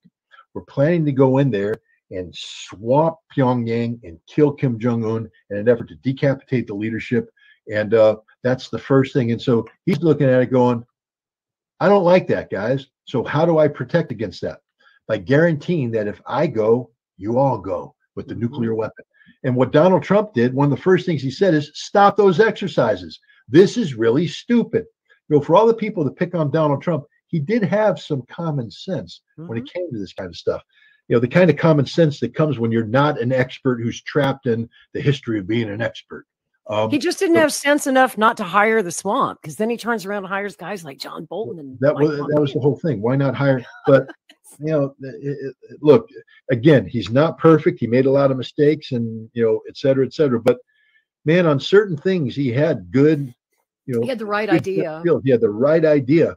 When he Um, followed his gut, he did the right thing. It was when people started talking to him. then he, that he didn't have the change his mind. confidence in it. That's right. Yeah, one of the other great things he did, I, I forever love him for this because Afghanistan, he came in, he said, This is a stupid war. We've been here forever. And the military came in, Mattis and you know, Mad Dog Mattis. Yeah. Boss, we can win this war. Really? You guys have been trying and you haven't won it yet. All you have to do is support us. Well, what do you need me to do? I need you to lift all the rules of engagement. Right now, our hands are tied. Lift the rules of engagement. We can do anything we want in there. Okay, I can do that. I'm the commander in chief. And give us more men and more money. Okay, here's more men. Here's more money. Rules of engagement lifted. Go. And I think what six months later, he called them all in and said, "Report card. Ah, you guys are still losing. Right. You suck." And he literally told all the generals around there, "He said, you suck at war. You guys aren't any good. You lose." And Mattis almost resigned there. He Yeah. said, "You insulted all the generals." And Trump's like, "They deserve to be insulted. You guys After can't 20 win." years, you can't win this war. You You, can't win. suck. Okay. So you suck. that's when Trump said, "We're out of here. We're pulling the plug," and um, you know, and the whole establishment freaked out. You can't leave. You can't run away. You can't do this. You know, and, and again, I'm not here to say that Donald Trump was perfect, but sometimes he did things where you just went, "Man, that was refreshing." you know, have Yeah. a president of the United States look the generals in the face who for 20 years say they can win a war but haven't won the war and tell them you suck at war. Boom. Because they do suck at war. They're horrible at it. They don't want it to end. They just want the money to keep flowing. the revolving door. You got to keep Yeah. the military industrial complex alive and breathing so that when you retire from the military, you flip right in and you become a CEO at Raytheon or Lockheed Martin or Northrop Grumman. And um, and then you can flip it back and become an assistant secretary of defense or a secretary of defense like Lloyd Austin. It's literally just this revolving door of military madness. Do you think we're going to get to 2024?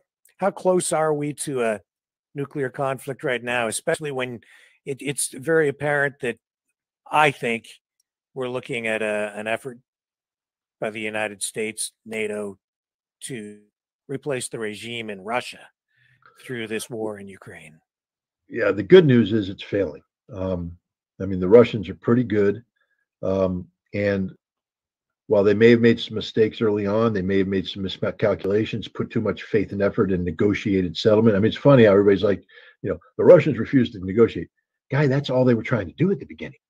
You know, four rounds, uh, the last of which would have resulted in a peace treaty had not NATO sabotaged it. Um, the Russians are done with negotiation right now, and they've assembled a force that's going to swamp the Ukrainians. And as Stoltenberg said, it's it's all over. I mean, I, I don't know how many people watched what he said yesterday, but um, in, in short, in a war that's defined by artillery, Ukraine is running out of artillery ammunition, and NATO can't resupply them.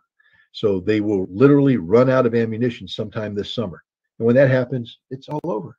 There's there's nothing you can do at that point in time because the Russians will just blow you up and you got nothing to fire back and that's vidanya, mama. Um, so this this this this war will end. Um, Russia has done a very good job of escalation management, no matter how much how much we provoke them. Russia's never taken the bait because they know they're going to win. Uh, so I'm not worried about the Russian thing. Uh, First of all, Russia will never use nuclear weapons preemptively. They'll never use nuclear weapons in Ukraine. Uh, even the worst scenario requires them to lose for that to happen, and they ain't losing. So uh, you know, that's not the one that worries. The, the one that scares me to death is China and Taiwan, and the ridiculous rhetoric that the United States is putting out there about coming to the assistance of Taiwan. We're literally provoking a fight so that we can get in a fight with China. Um, and what we don't understand or we haven't seemed to comprehend is that the Chinese will kick our butts. We are married to a legacy of military doctrine dating, uh, amphibious doctrine dating back to World War II. But the day of the big ships, the big group of the ships offloading Marines and you know rushing in, doesn't work because before you even get the Marines off the boat, all the ships are sunk because the Chinese have missiles now that reach out and touch you at long distance, and we can't shoot them down. So our ships will get sunk, all our airplanes will get shot down coming in, and then we're left with what? When we have 7,000 sailors go down to Davy Jones' locker, uh, there will be people talking about revenge. And the revenge will come in the form of a nuclear strike. Now, we'll con- contend that it's a limited nuclear strike, it's a demonstration of America's will. But the second you use nukes, it's over. It begins the process of an exchange, and we all die. Um, and and look, look, the last time this thing almost got out of control is when Nancy Pelosi visited Taiwan, and now Kevin McCarthy's talking about making the same trip. I mean, again, thank goodness the Chinese are the adults in the room, and they hopefully won't buy into the bait. Um, the only good news is the Taiwanese government that currently uh, enjoys the support of the United States and uh, has been talking about moving in the direction of independence will probably lose the 2024 election now. The Kuomintang party, the opposition party, did very well in the 2022 midterms. Um, and it looks like they're going to be able to continue this on. And if they get elected, uh, Taiwanese policy will will definitely change. It, I don't know if they're going to just straight out agree to the uh, Chinese position of um, one system, two, or you know, one nation, two systems, which China's basically said all you have to do is say you're part of China, and you, everything stays the same. You wake up the next morning, your life doesn't change. You continue to have your job, you have your government, you have your laws. We're not here to change that. We just need you to recognize that you belong to us. Um, but that's the direction they're going to head. Right now, the current government is heading in a completely different direction, trying to make Taiwan a de facto independent state from China. a Kuomintang government will go the other way, I think. And that takes all the pressure off because there's not much the United States can do at that point in time. So all we need to do is keep the United States from provoking a war between now and 2024. Um, that might be a tall order because we have idiots like General Minihan, uh, the commander of uh, Air Mobility Command, I believe his name is, um, and he um, he's the guy that came out and said, "I'm ordering my people to go out and shoot targets." Remember that? he said, "I believe there's going to be a war in 2025." Dude, you're the general of Air Mobility Command. You don't get to make that assessment. You're not qualified to make that assessment. That's a policy pronouncement. You should be fired on the spot, which normally would have happened, but they're not. He's also the guy that said, therefore, all my all my people in my command need to go out with their pistol and uh, empty a clip at a target aiming for the head. Anybody who's qualified with a pistol in the armed forces know a it ain't a clip, it's a magazine, and b uh, you enter you, you, shoot center mass. You don't empty a clip into the head. Um, so this guy's an idiot. Uh, he doesn't know what he's talking about, and yet he is part of this militarization of the conflict. I mean, look at the balloon. I'm here to tell you right now, we knew exactly what that balloon was the whole time. I was just going to ask tell, you about these balloons. I'm telling you the truth. Yeah. We knew what it was. It's a joint weather experiment that the Chinese have been running over the, the, the, the, the Tibetan plateau for many years using tethered balloons. But the data they collected there is, is, is, is a snapshot of that one place. But if you look at the atmosphere, it circulates around the planet. And so, what the Chinese have done in cooperation with the United States is develop these experiments or these you know surveillance techniques to go up and gather you know what's happening with water particles in the upper atmosphere because that has a that that, that plays a role in magnifying the sun and and all this kind of stuff. Um, and so the sensor goes up and it's supposed to collect. Now the sensor is on a balloon that has limited mobility they talked about propulsion and rudders. But again, it's going to be pushed by the wind. The mobility is just to move it up a little bit, down. Um, what happens when it breaks contact? And that's the other thing people need to understand here. Look at drones, American drones. We, we take off from the ground, and then we pass control off to a satellite, and then you have a guy thousands of miles away flying the drone. But if the satellite connection gets broke, the drone immediately goes into a search pattern, searching for the signal so that it can be recaptured and then brought back. This balloon apparently had the same thing. It lost contact. And if you take a look at what the balloon was doing over the United States, it was going in a rough search pattern. Now it's tough because it's getting pushed by the wind, but it's a search pattern. People are like, oh, look, they're spying on missile fields. No, they're not. It's a balloon on full automatic trying to make contact with the, the signal uh, and not able to do so. We knew this. Why? Because it's broadcasting a signal and we collect that signal. We know exactly what's going on. We know what this balloon was. This was a deliberate effort by the Biden administration to distract people from Seymour Hersh's outstanding uh, revelatory uh, article about Nord Stream and the United States attacking its ally, um, Germany. We don't want to talk about that. We do want to hype up the threat about China to distract the fact that Russia is getting ready to win the war in Ukraine. Um, so we take a balloon that we know exactly what it is and we allow it to become this story. And then we order NORAD to fine tune their radars so that they can detect all the other weather balloons that get put up in the air. And then we treat them as if they're a threat. We send airplanes up to shoot them down using 400,000 missiles, uh, $400,000 missiles. They're finally coming out saying, yeah, none of this is a threat. Uh, we we know what these balloons are. They're not a threat. I don't know why we're shooting them down. Uh, they've never impacted in there. We're shooting them down to protect civil aircraft. Really? Um, you've never shot one down before, and they've never brought down a civil aircraft. So why are you making this up? Why did you shoot down a balloon after it left the United States? If it's truly a spy balloon, you think you would have shot it down while it was spying on our missile silos. But we drifted off. We did it to militarize this, to create a sense of, uh, you know, a crisis. Um, and the Chinese are very mad at us right now. They're very mad at us for doing this. But uh, The fact of the matter is that wasn't a spy balloon. We know what that balloon was. We knew when we shot it down what it was. This is all just a stupid game being played by the Biden administration to divert attention away from stories they don't want you to focus on and then seek to militarize the Chinese problem because we don't have a diplomatic solution. That's the thing that should scare every American. We Mm-hmm. don't have a diplomatic solution. We needed to sink Tony Blinken's trip to China. So how do we do it? Shoot down a balloon, and then we blame it on the Chinese and say we're not going to visit China while their balloons are, you know, freelancing over our airspace. This is the this is this is the mindset of children, not adults. How important is this story about the the pipeline? How much impact do you think it ultimately will have, if any? Um, let me let me let me answer it this way. I printed the first page of Sy Hersh's Substack where he published it, and um, I'm going to frame these because this is the most important story written this century, and it, it may hold to be the most important story written for the whole century. Um, this story should bring down NATO. This story should result in Germany leaving NATO this story should destroy your German US relations, and it may very well. This story hasn't ended yet. Uh, Sy Hersh breathed life into a story that is going to resonate. It's going to have geopolitical consequence. Um, this is the literally the most important story out there because it's about American betrayal. It exposes the United States for what it is, an evil nation capable of doing evil.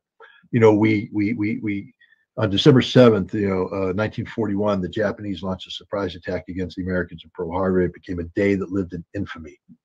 On September 22nd, uh, 26th of last year, Joe Biden ordered the economic Pearl Harbor attack on Germany, the, the equivalent $12 billion piece of critical energy infrastructure. We attacked it without provocation, without justification, without any legal, um, you know, th- there was no legal permission to do this. It was a blatant act of war that not only was a violation of our own constitution when it comes to uh, congressionally, you know, congressional approval for an act of war. Joe Biden conspired to avoid reporting to Congress. Again, that becomes a crime. He should be impeached. This is a clearly an impeachable offense. Nobody's talking about it in the United States. This is why Hersh's article got published because people are ignoring this he published it. Look at the first major interview he did. It was in Germany. And look what's happened because of that interview. German politicians are now on the floor of the Bundestag talking about this issue. It ain't going away. Russia's convening an emergency council a meeting of the Security Council to talk about this issue. China is now going to weigh in on this issue. Why? Because an 85 year old hero wrote an article, the most important article anybody's going to read this century. This is the article, ladies and gentlemen. This this is going to resonate. That's how important this article is. Wow. I mean, I knew it was important, but I didn't. Uh, I didn't appreciate the depth, the gravity of it. Oh, the, the, the German, the German, the German Parliament. Um, there's a very brave uh, uh, female parliamentarian. Uh, Oh, wasn't she great the other day? the, the, the, the Kurdish lady. Um, Yeah, I uh, can't think of her name. I think her name is. Um, but she was up there and she basically read the the Scholz government the riot act about this, and it's because of Seymour Hersh's article that she did it. Um, and and there are other German politicians now who are frankly saying, um, because of Seymour Hersh, we now have to address this issue. And if what Seymour Hersh wrote is true, and it is, um, we can't be members of NATO anymore. We can't be members of NATO we can't be allies with the United States. Think about what I just said. The most important economic power in Europe was attacked by the United States. And if they if they are able to shake off their um, current status as cuckolds, because that's what they are, it's a cuckold nation right now, uh, letting the United States do whatever they want to do. And we just pretend that we don't know about it and we just go on and allow the abuse to occur. It's a cuckold nation, but now, thankfully, some politicians are stepping up saying, no more. We're not doing that. Uh, we're calling it is what it is. There's going to be investigation, and the United States stabbed Germany in the back. And when that becomes reality, and it will, it's going to resonate in Germany in a way that's going to terminate this friendship. How can you be friends with somebody who did that to you? Um, and Germany, I believe, is going to leave NATO and that will lead to the collapse of NATO. That will lead to the collapse of the EU. That will this has, has the potential to be one of the greatest geopolitical uh, events in history. Talk about unintended consequences. When old Sleepy Joe uh, got up there on February 7th of last year and of 2021 or 2022, I'm sorry, and said, um, you know, if Russian tanks move into Ukraine, uh, Nord Stream 2 is, is going to go away. And, and the German journalist was like, but, but, but, but how could you do that? It's a, it's a German piece of thing. It's German. And he went, it's going to happen. Well, it did happen. And now the Germans are pretending he never said that. I mean, it's just like, no, see no evil, hear no evil, say no evil. But Do fortunately, these people even realize the internet exists? It's like they think that stuff just goes away if they deny away. it. The internet But never. Sy Hersh wrote an article, and the Germans have to deal with this article now. That's the importance of this article. Yes. And it took an old school journalist like Sy, who's like you said, 85 years old, Yeah. to do real journalism because Yep. And he had to the publish younger it on crowd seems to have any curiosity about this. He had to publish it on Substack Mm-hmm. because The New York Times wasn't interested. Washington New York Post? Times not interested. Washington yeah. Post not interested. You know, this is Seymour Hersh who won a Pulitzer Prize for exposing my lie. This is Yeah. Seymour Hersh who has um, exposed uh, horrific abuses by the U.S. intelligence community. This is Seymour Hersh who more recently exposed the Abu Ghraib thing. When nobody else would tell the story, Seymour Hersh told the story. Now, the New Yorker published that piece at that time, but the New Yorker has lost its, uh, you know, nobody will touch Sy right now because the truth is no longer what people are looking for. They're looking to spin things. And so here's the greatest investigative journalist in our history. This man is a living legend. He's a national treasure. He's an international treasure. And He's probably the They- best we've still got living. he's the only thing we still got. Mm, Um, he- and at 85, he cares enough about the truth that he put himself in the situation. If you think Sy Hersh needs attention, you don't know Sy Hersh. And I'll just say this for the audience I know Sy Hersh. We've been friends for 25 years. Um, and yeah, I didn't know he was going to write this article. I, I I knew that he was thinking about going to Substack, but he didn't want to. He didn't want to go to Substack, but he did it because that was the only way to get this thing published. So he did it. It got published, and oh my God, what a story! Now people are going to try and take it apart at the seams. Right now, there's this whole um, they call themselves OSINT, uh, Open Hmm. Source Intelligence Community. Let me tell you about OSINT. Uh, we can call them something else. NAFO. They're basically NAFO. They are kind of the same thing, aren't they? They the same thing, and they think they're so smart. They think they can say that this, that, and the other thing. Hey guys, if you lived in the real world, you'd understand that tracking the transponder on a ship doesn't tell you jack squat about the ship. If you had ever worked in the CIA's paramilitary group, Special Operations or Special Activities uh, staff, C branch, they actually have a thing called C branch. And you know what they do in C branch, you morons? They put false transmitters, uh, you know, beacons on things that float around to make it look like something's happening, uh, or they shut beacons off on the things they don't want you to see. You see, the CIA is 400 million times smarter than you OSINT snotty nosed punk ass kids who don't know anything because you've never done nothing except live in your mother's basement and uh, and search the internet thinking you're smarter than everybody. There's a real world out there full of people who know how to do real world things that you don't have a clue about. And so, Yeah. They're the ones guess who like to quote Wikipedia and go, actually. and, and guess who? And guess who actually did do real world stuff? Sy Hersh. Yes. Do your research on the man before you criticize him. This is a guy who, from the 1960s until today, has had the best connection with the U.S. intelligence community than any other journalist out there. And it's not the connection of a Bob Woodward. Bob Woodward has an incestuous relationship Exactly. where He's he sits down and becomes a stenographer. You tell me, I write it down the way it is, and I publish it, so we're all happy. I make money, you look good, you get your story out, all that. Sy Hersh's thing is, I tell the truth, and he And, you know, to be fair, I mean, Sy, because he does work with the intelligence community, he's been fed some some bullshit cover has. stories through the years, and Everybody he's been duped, and a lot Yep. of journalists have been duped. He was duped on that uh, JFK book he did J- back the- in on, on, on, 97, uh, on, Dark Side the of dark side of Camelot. Mhm. Yep. But he and you know they will feed you false stuff but i think Yep. Sy generally gets it right and he's got a good bullshit detector No, well, So- that's the whole thing too. Remember, the Dark Side of Camelot was written a long time ago. That's right. Um, And the thing about professionals is when you make a mistake, you learn from the mistake. And uh, you know, Sy hasn't made that mistake. He has learned uh, that you have to, you know, double, double, double all that. And he got burned on another thing too. Uh, more recently, um, uh, he, may be right on this story, but the way it was He's presented, close. yeah, he was. I think he was right on that. And I'm not going to get in because that's his business. But Yeah. a source led him down the wrong path, and he said some things that may have been right, but the way the source described it wasn't quite right, and it it, it put Sy in a very uncomfortable situation. Um, so yeah, is he the perfect journalist? There's no such thing as a perfect journalist thing. because there's no such thing as the perfect person. No human human being is infallible, and if you do anything in your life, you're going to make mistakes. But the- at least the- he endeavored. He tried. he's trying and, and on a story like this uh if i if i know him and i do um i can't say i have any insight because i don't. I can't sit here and tell you guys that i got the inside scoop. But i'm betting that let, let's put it this way. Sy's the kind of reporter and i'm an intelligence guy. I'm actually the real deal when it comes to osint because i do open source intelligence based upon an extensive real world experience where I can cut through the BS um, and get down and say, that smells right, that doesn't smell right.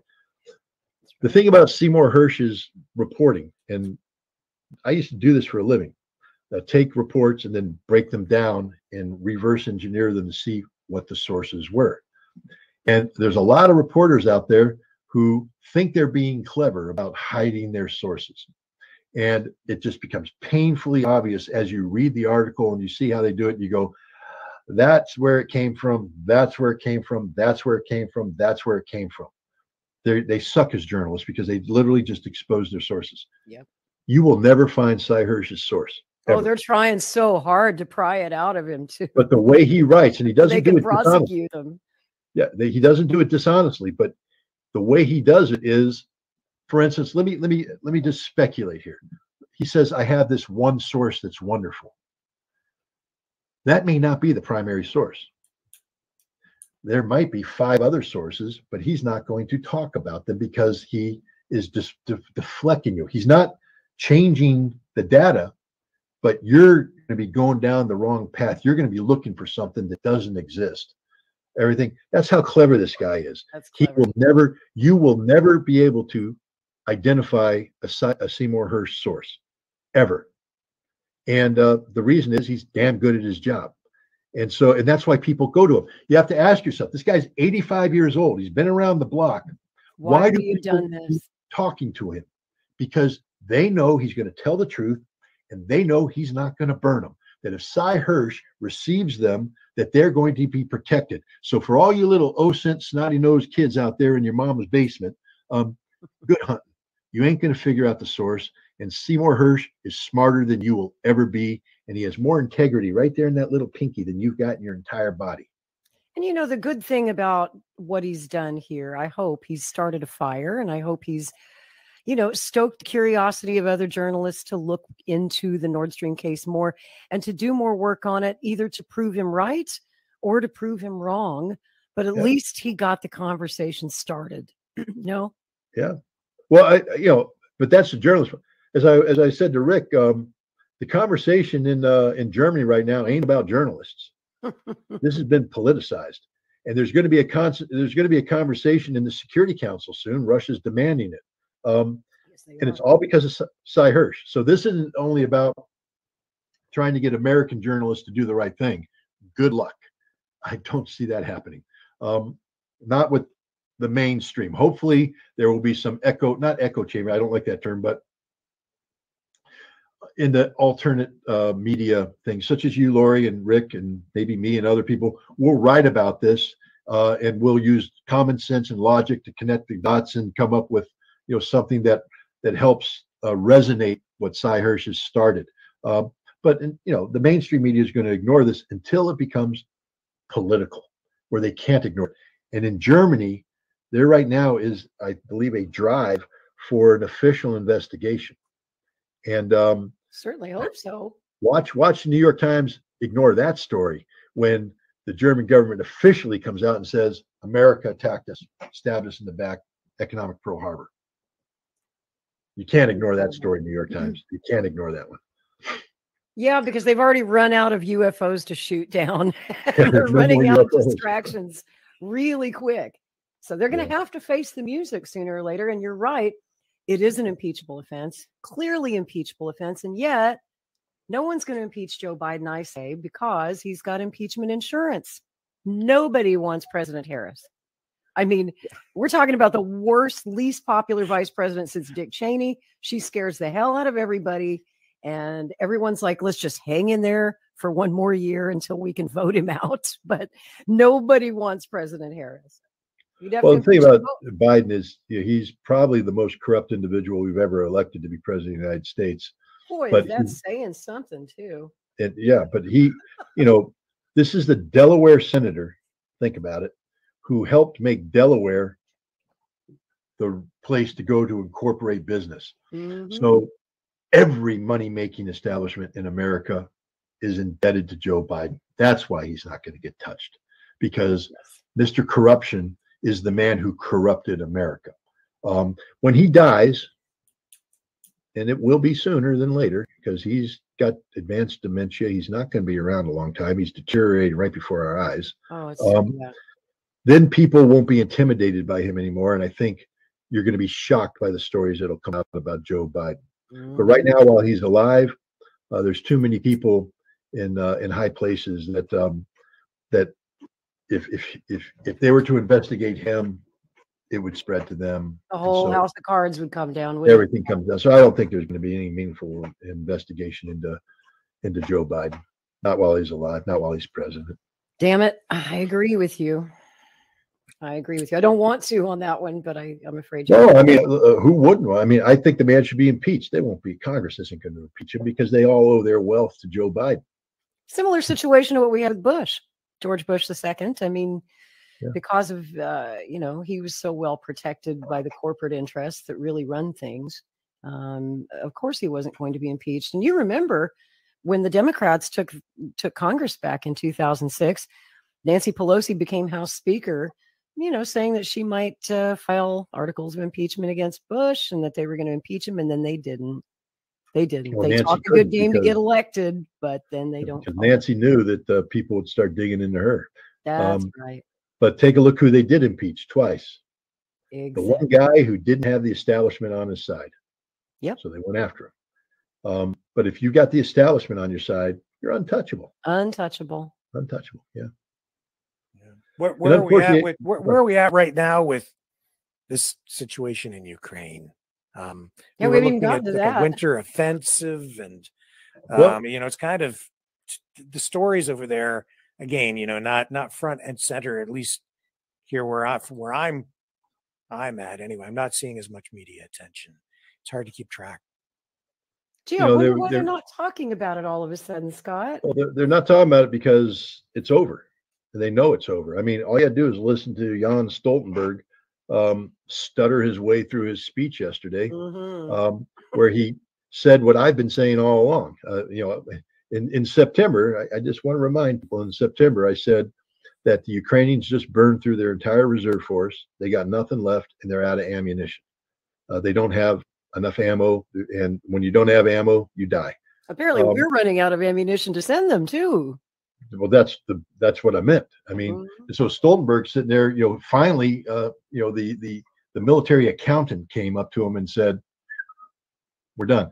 And you know, Go the, the Ukrainians showed up at uh, in, in Ramstein for the I think the tenth meeting of the uh, of the Ukrainian contact group, and they thought they were going to come in there and say, "We need jet airplanes and we need more tanks, and you guys are going to give it to us because you know politically we're on the high thing." And uh, Lloyd Austin and and Mark Milley had to go time out. Um, now that ain't the narrative we're talking about anymore because we got some hard truths. Um, we're out of ammunition. We got nothing left to give you, and you're going to run out of ammunition this summer, and we can't change that outcome, and you're going to lose the war. And that's straight up what they told them. Straight up, you're going to lose the war because without ammunition, you can't win the war, and we literally can't turn this around. Stoltenberg Meanwhile, said, Russia doesn't seem to have any shortage of ammo. No, or artillery pieces or anything. They Russia just completed this big, massive mobilization, uh, and they're getting ready to bring it to engage. The Ukrainians, on the other hand, already burned through their reserves. What they're, they, they, they're know, they're conscripting trying- anyone with a pulse at this point, aren't they? they have no choice. They have other people getting trained, but on what? On you know, 14 Challenger two tanks. They'll be gone in a week. 14 uh, German uh, Leopard 2 A7s. They're gone in a week. Uh, there's there's just not enough to, to to to bring this about. The Russians have everything. The Ukrainians have nothing. This is an artillery war. The head of the uh, U.S. Um, uh, forces in Europe, who's also the Supreme Allied Commander, um, uh, General Cavoli, I think his name is, uh, spoke in Sweden last month. And um, he said the following He said, uh, What's going on in Ukraine right now is on a scope and scale that was beyond our imagination. We're not prepared for this fight, meaning we being NATO. NATO can't fight this fight, NATO can't win this fight. And he said, This is about artillery ammunition. This is about big guns. We weren't prepared for this. We never thought we were going to be doing this. What the Russians are doing is something that we can't handle. The Russians have all this ammunition. Uh, they're, they're firing 20,000 rounds a day, evened out. Some days it's up to 60,000. Some days it's down to 8,000. But on Christ. average, 20,000 rounds a day. Um, he said, We don't have the ammunition. We can't do it. There were a million rounds. The United States had a million rounds in reserve, a million. Um, Ukraine is firing, I think, 110,000 rounds every 10 days. So in a month, they fire 330,000 rounds. In three months, they exhaust our million round reserves. We can produce 100,000 rounds in a month.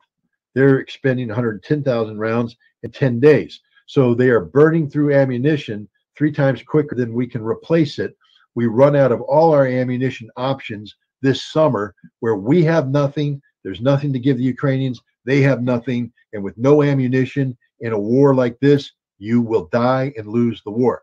This is what's going to happen in this conflict. Russia is going to win decisively this summer because Ukraine will run out of everything, including manpower, by the way. Here's what I understand, Scott. The math seemed pretty obvious from the start of this whole conflict. So, why didn't NATO and the United States do that math before entering the conflict? I think there was a, first of all, I think everybody thought that um, Russia was going to invade Ukraine uh, doctrinally. I mean, Mark Milley briefed Congress that 72 hours, this thing's over. The Yep. director of the CIA told Biden one week, it's all over. And had Russia come in doctrinally, it would have been all over. But Russia didn't. Right. Russia wasn't looking to militarily defeat Ukraine. Russia was looking to get Ukraine to the negotiating table to come up with the solution that Russia had been trying to get the West to buy into before they invaded. You know, the Minsk Accords, um, the, the draft treaties they delivered to NATO and the United States on December 17th of 2021. Um, the West turned their back on them, betrayed Russia. So what Russia did is move in, but they called it a special military operation for a reason. It wasn't war. It was something other than war designed to get Ukraine to the table, and it worked. Ukraine had three negotiations in early March, led to the fourth and final negotiation, 1 April in Istanbul, Turkey, where there would have been a peace treaty signed, except Boris Johnson, at the behest of the United States, flew in and canceled it. Um, you, Russia's been looking for a negotiated settlement from the very beginning. Russia's the only party, only person looking for a negotiated settlement, but they were betrayed. And then NATO turned around and pumped in tens of billions of dollars of uh, equipment to rejuvenate a defeated, fundamentally defeated Ukrainian military, which then went on in the offensive in September. And everybody remembers that. Kharkov recaptured, the right bank of Kherson recaptured, Ukrainians saying their Tarzan yell. But what nobody picked up on was they all died. But yeah, they took that territory, but the Russians didn't lose hardly anybody. They sort of withdrew, consolidated defensive line. The Ukrainians went in and got slaughtered by Russian artillery. That big vaunted reserve force they had all died. All the tanks that they were given, hundreds, if not thousands of tanks from Poland and elsewhere, all destroyed. And they got nothing left. And NATO's going, whoops, that was sort of it, guys. That was the big push. You needed to win, and you didn't. And now what you did is you pissed off the Russians because the You Russians don't want to do that. the Russians. There's that old saying, uh, you know, the us. Russians are slow to harness but fast to ride.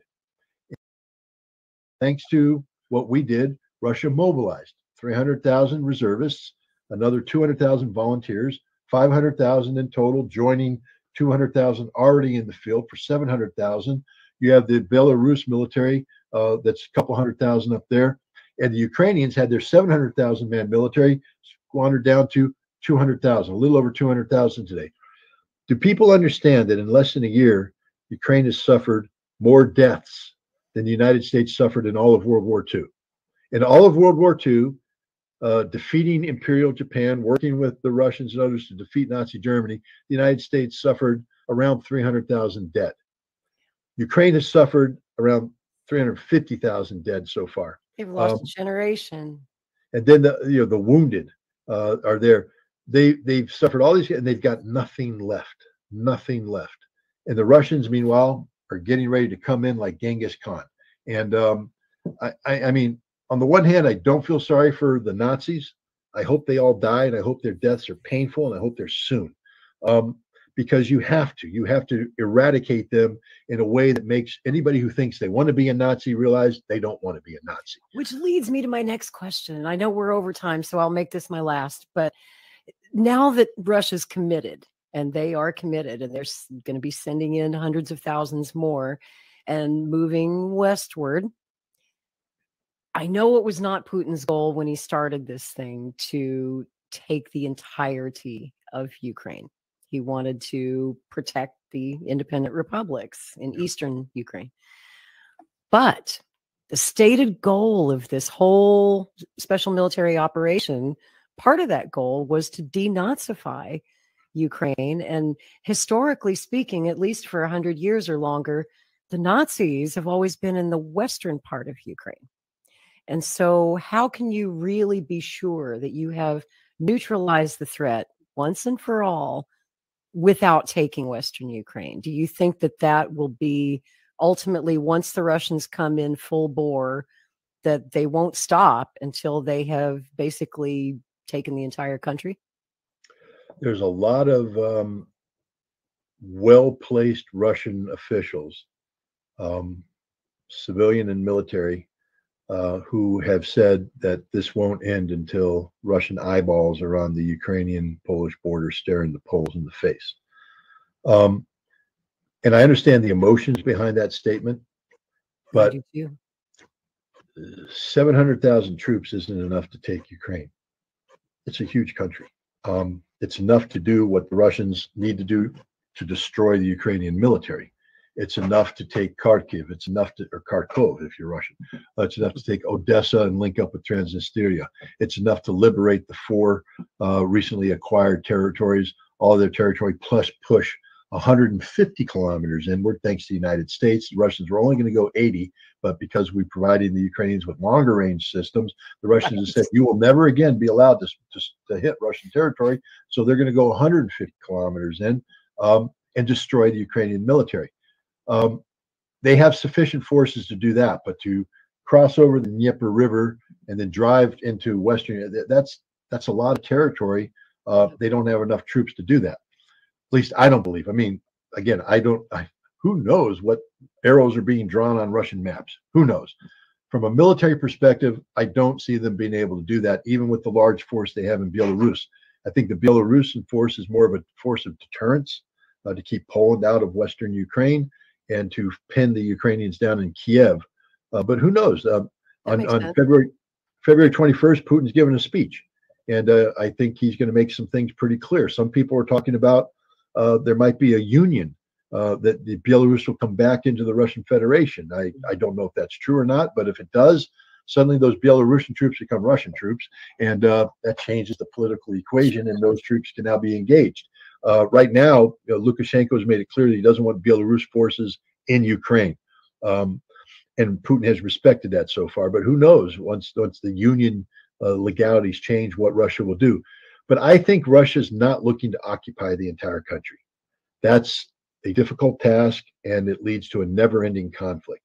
I think Russia wants this war over, and the way you do that is to destroy the Ukrainian military, which I believe they'll be able to do by the end of summer, early fall of this year and then you have to denazify. And the way you denazify, at least in Scott Ritter's world, is um, what they appear to be doing. they they took you know General uh, Surovikin, the General Armageddon, who stabilized the front, and then uh, the Russians then restructured the general staff to uh, reflect the reality that this is a massive offensive they're getting to run on several fronts. And Surovikin was given uh, control of the air campaign, which means the air campaign is now a standalone campaign to do what? To destroy Ukraine as a modern nation state, to knock out its uh, electrical grid, to take out its infrastructure, to collapse it as a society. Why? Why would you go that route? Because mm-hmm. when you mm. collapse Ukraine as a society, uh, Zelensky becomes politically unviable. And uh, the idea is to bring down the Zelensky regime internally, have the Ukrainians take care of this problem, and then to replace Zelensky with somebody who will accept the Russian terms of surrender. And um, one of those terms will be, of course, the uh, a new constitution that outlaws Banderism, uh, makes Stepan Bandera the name that you cannot say. Now you're talking blow up the monuments, outlaw the political parties, yes. etc. This this has to be a Ukrainian solution, not a Russian solution. Ukraine has to do this, but in order to do that, you have to bring down Zelensky. And when you collapse society to the point that Zelensky's out, society is going to turn on those who made this war possible, and that is the Banderists. That is Bandera supporters. That is the Svoboda Party that is the right sector. That is. And they've been the cancer in Ukraine for a hundred years. These yep. Ukrainian nationalists. Surely, not all of the Ukrainian people are on board with what they do. They've been no, nothing but trouble. Nothing but trouble. But again, I'm not saying that that that approach will ultimately succeed. I mean, the problem with ideology is how do you stamp out ideology? Um, right. You know, and and and it's been there for a while in Western Ukraine. It's literally that is poison territory. They were uh, Nazis before there was a Nazi party in Germany. Were, when you trace this back to World bad, War One, those guys were already there and already had their their Nazi beliefs before Nazi was even a word. Bad, there was bad a, people. Yeah, bad people. So right. you know, the days, I think they call them. You know, this is mm-hmm. the, the, original founder of the of this movement uh, of Ukrainian yes. nationalism. Um, right. Long before anyone ever heard of Adolf Hitler. Yeah, they were doing this stuff. They were they were the white supremacists. They were the ultra nationalists. They mm-hmm. murdered people. Um, yes, so it, it's a Ukrainian solution. I, you know, I can't guarantee that outcome. I don't think anybody can. It's it's a political problem that requires a long term approach. But I think what Russia will say is that um, they at least will get Ukraine on the path towards denazification. Um, and that has to be done without a Russian occupation. That has to be a Ukrainian solution. Um, and that's going to take time. See, I think Russia is going to demilitarize Ukraine sometime in the August, October timeframe of this year. Um, and I think that will also bring about probably a change in the government in Kiev. But the political solution is going to be longer because Russia, if Russia dictates a solution to Ukraine, the point of a gun, um, the West isn't going to accept it. So what what what Russia's going to have to do is find a way to get the West to work with Russia to create a post-conflict Ukrainian government that um, mm. not going to be, um, you know, A isn't going to be a cancer to Russia, but B isn't going to be this economic black hole for uh, for Europe. So you mean like we were a, supposed to do after World War II? Wasn't that what the United Nations in Nuremberg was supposed to be all about? And then and then somehow those those Nazis just kind of got away and they immigrated to Canada and they came to the United States and they went to South American. I think we only prosecuted what 22 at Nuremberg.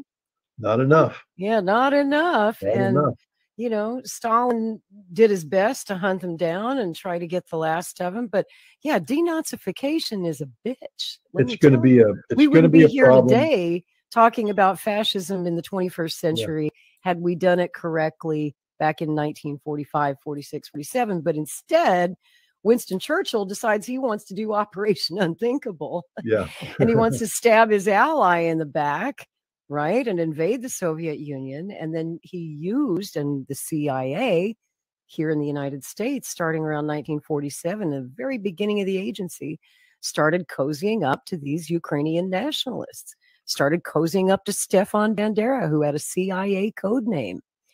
Yep. Nicola Lebed also had a CIA code name. Allen Dulles personally recruited Lebed, brought him to the United States, set him up in New York City, where he lived a long, happy life, despite the fact that he had a murder conviction as a war criminal.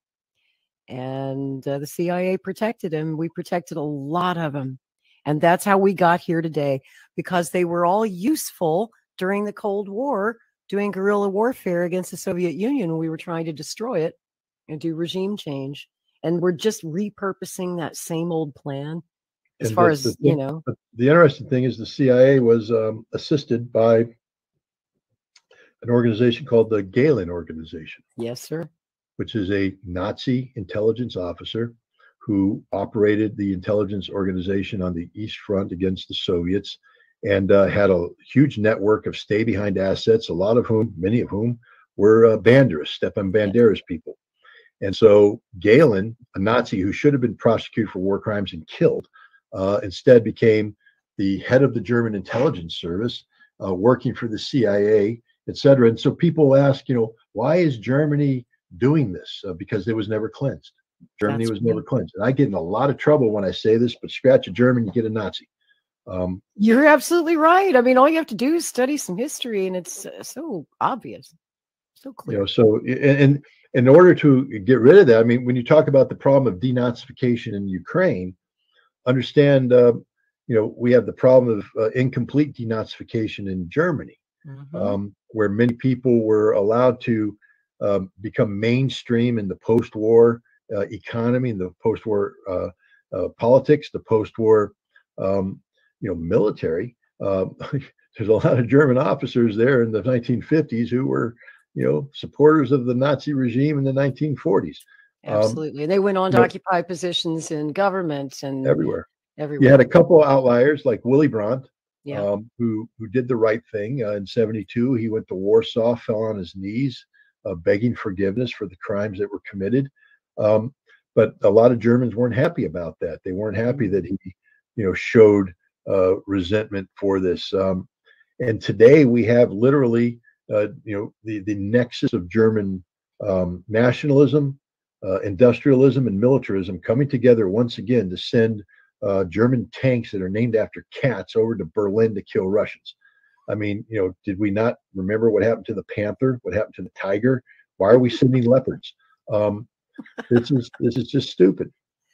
You Can know, I I, ask I just can felt. you- Oh, I- go ahead, Rick. Go ahead. Yeah, here in Canada, we have a history of, I guess, hiding Nazis. hmm And uh, I see signs of fascism becoming prominent again, especially over the last month.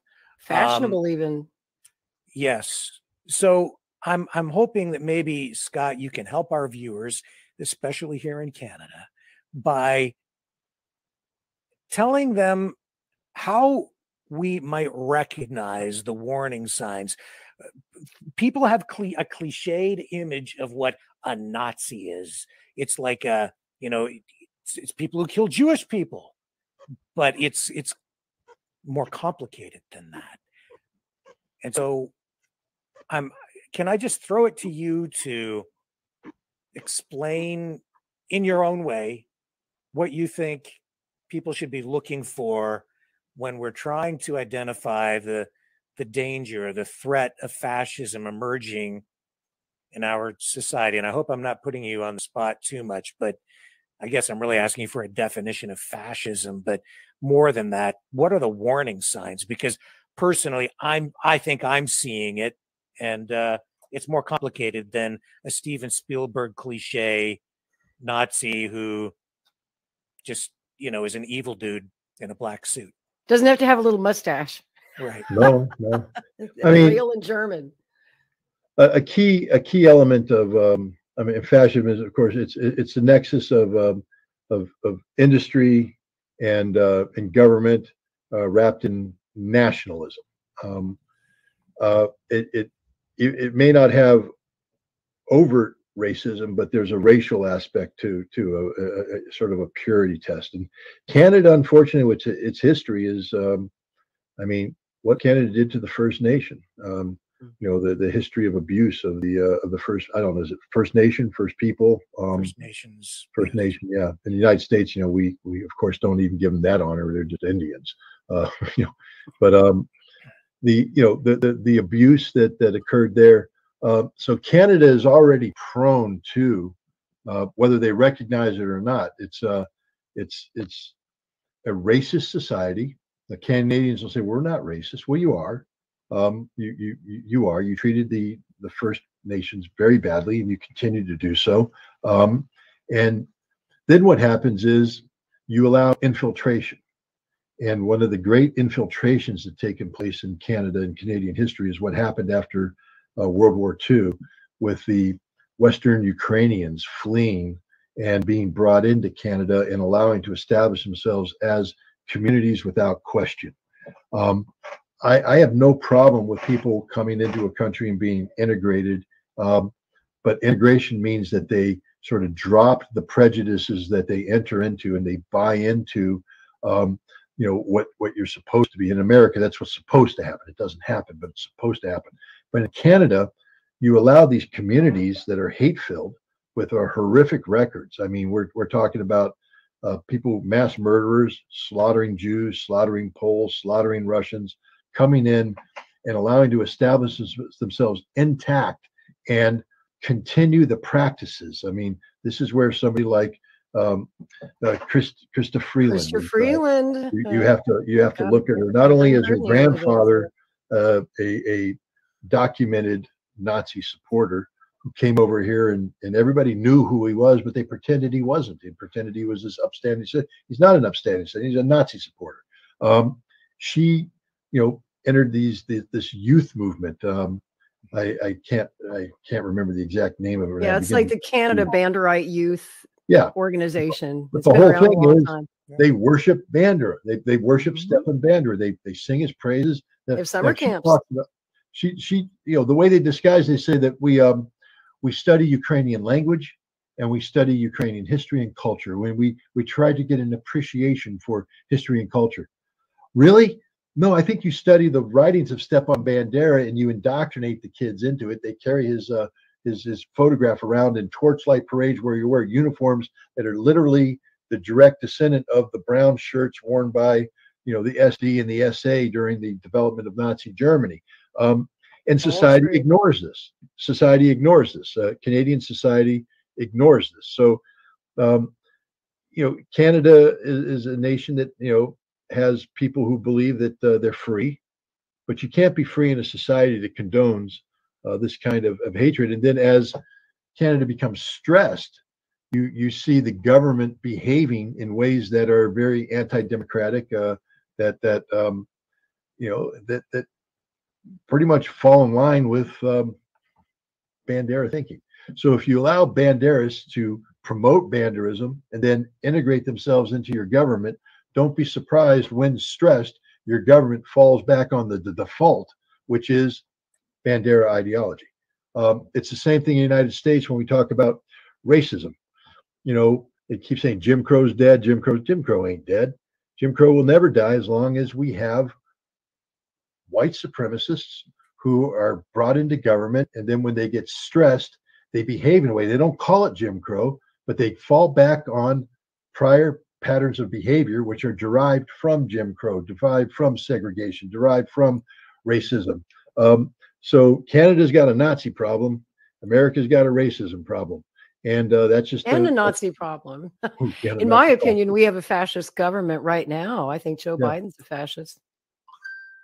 Well, um, all, I think certainly no leftist. I'll tell you that. No, there's, there's, no such thing as a leftist president. It can't. They wouldn't get elected if they were a leftist president. They That's could right. fake you out like Barack Obama, you know. But um, it wasn't nothing lefty about Barack. He was uh, old school, you know, classic American establishment figure. I mean, anyways, I don't want to get yeah, into well, he continued all of Bush's policies practically without exception. So I don't really see any difference between him and George. But Bush. he got a Nobel Peace Prize. But he got the Nobel he Peace Prize yeah, while bombing the hell out of everybody. well, even before though, he just got it for being. Yeah, just being, right. just being, just being My Barack Obama. Being cool. There's a Nobel Peace Prize. hey, that worked. Funny how the ones who deserve a Nobel Peace Prize never seem to get one. How many They years have they been nominating Julian Assange for that? I hope he gets Ten out of prison soon, and I hope he's able to um, get back on his feet and maybe get the recognition he deserves because he does deserve recognition. Yeah. And he deserves freedom. Yeah, we all deserve freedom, but he especially deserves. What they're doing to him is just a damn shame. I mean, Well, and it set the precedent, Scott, for all of us who are journalists that criticize the establishment, who are not stenographers, who, uh, you know, question everything that we're told, research, dig deep, and report to the public what what we see. Honestly, is going on.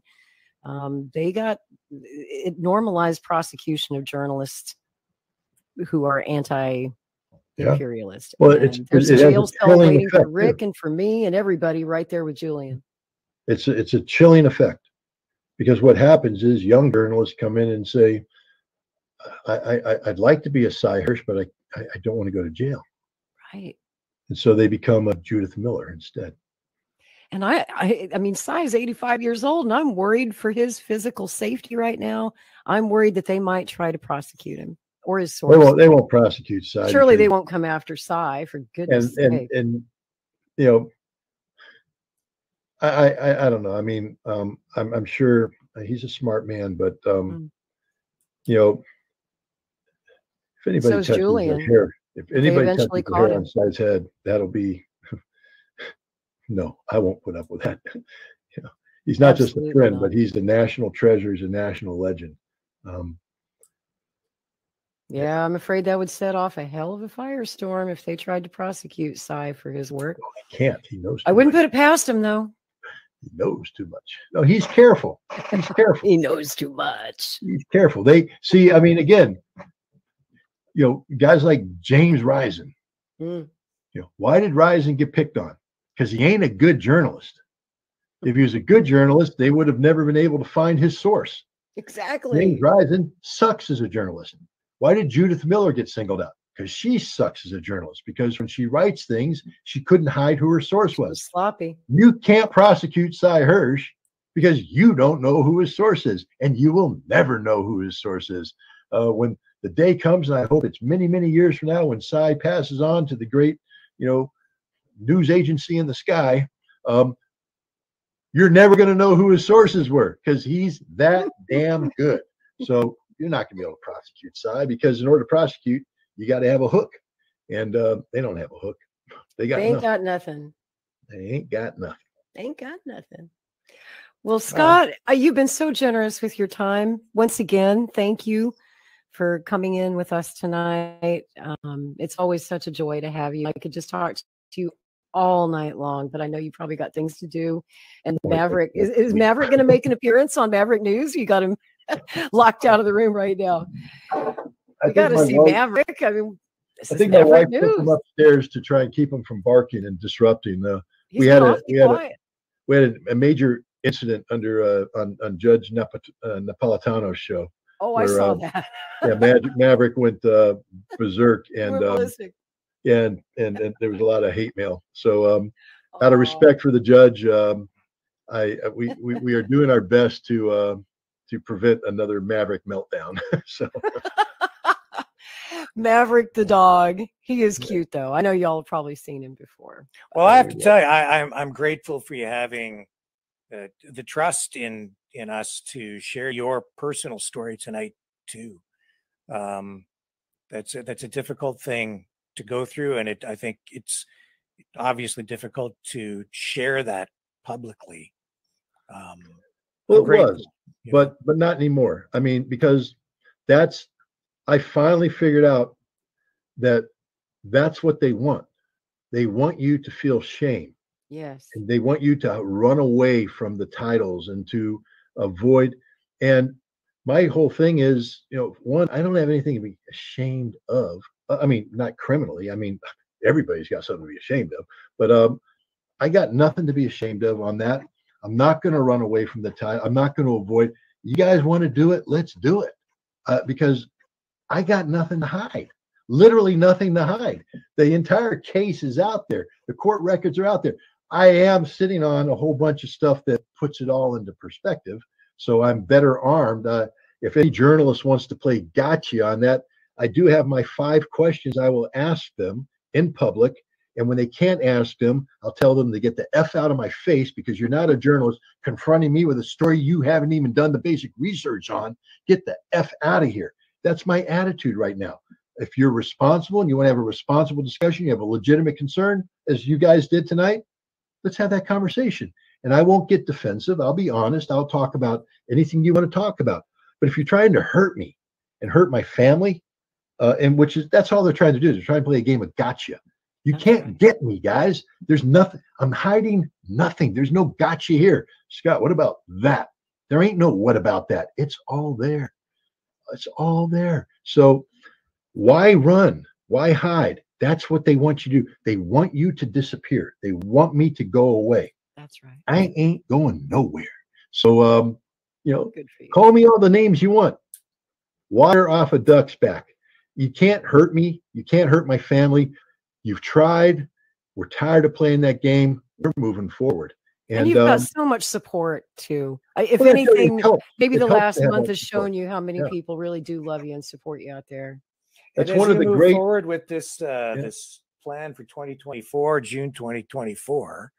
You know, we'll we'll certainly do everything we can up here to help you get the message out and uh, and get Canada on side two. That we'll, we'll we need Canada. we need Boy, everybody. we need Canada. we need everybody. So no, thank you for that. And again, thank you for giving me the opportunity to come on here. It's because of shows like this that um, that I feel empowered to uh, to confront this head on because it's a tough thing. Um, and if you don't have a base, if you don't have a foundation of support, if you don't have a you know uh, the ability to, to to take the blow and fall back and absorb the blow, uh, it's daunting to try and fight something of this scope and scale. So there is a tendency just to say, "Shh, we're just going to let sleeping dogs lie, and I'll just try and earn a living this way." One of the great things that happened because of this Russian invasion is um, I I became a name. I didn't want to become a name. Trust me, the last thing I wanted to do is become a name. But I became a name. Um, I didn't want to speak at that rally, but I I, I said I would. But I knew what was going to happen, and I'm sort of grateful it happened. In many ways, I guess I should thank Scott Horton and the Libertarian Party because what you did is you don't get to play that card anymore. I'm not playing your game. You put it all out there thinking that I was going to be embarrassed and I was going to walk away and I was going to hide, and I'm not. Um, so thank you, Scott Horton. Thank you, Libertarian Party. I appreciate it because uh, now I just don't care. I don't care what you call me uh, because it's not true. And there's enough people out there right now because I'm not running away from it who are saying it ain't true. And at some point in time, there's going to it's going to reach critical mass where sufficient number of people say it ain't true. It's no longer a weapon. A weapon doesn't work unless it cuts. Well, you know what really made me mad as a libertarian of many, many years is the Libertarian Party is not the party. uh, Where it's not our business to be the the speech police or Yeah. even the morality police. morality police, nothing. I mean, no. we are the party that ran John McAfee as a presidential candidate in 2016. okay, Eh, we're usually not big. We're the party that wants to legalize all drugs and prostitution. So we are definitely not in the business of policing morality. But all of a sudden, we make an exception for you, Scott, and that just didn't make any sense to me, and it angered me. I know you. I know the case. I've studied it. I know that the whole thing was a bunch of hooey, that they're doing this again to, you know, to try and delegitimize you and what Yeah. you're saying and distract from your message. So I think it's really big of you that you didn't sue the Libertarian Party. Uh, I understand that the stopping this war is more important. You're right. And I think it's very big of you that you still support the rally, even after all that they did to you personally. And thank you for coming on Sunday. Um, and you know, you're doing the right thing, and I salute you. Well, thank you very much. And again, thank Rick and thank Lori for having me on. Uh, it's an honor and a privilege to be here with you guys. And uh, hopefully we can do it again sometime. Maybe not for three hours and 50 minutes, but Did we do that again? Well, no, you, I, I think you guys did an hour first, so that's yeah, I only, was on uh, for an hour beforehand. only two hours and fifty goodness. minutes. No, the privilege is ours. Thank you. is. Thank okay, you. well, thank, thanks a lot, guys, and have a great night, and You um, too. see you around. Okay, See ya. sir. Bye, Scott. Bye. Okay, I gotta get my cursor to work. There we go. have a good night. Okay, see you. That was awesome. Woo! Isn't he something? He is. Just Yeah. love the man. that you know that um that's an incredible story that he shared um, i can tell you you know the first time we had him on the program as soon as i announced it people started sending me messages you can't have him on the show and they started sending me the links and the da da da da da and i'd already Mm. looked at it and uh you know i uh i just kind of brushed it off because it's the same old stuff you know um so there you are. And uh, we are still on the air, just so you know there, Laurie, uh, in case. Uh, I case you're not my aware. camera just died. Hold on a second. yeah. Damn your- cats. See, I need to lock them Your up like cats Scott are like ca- camera saboteurs. They are.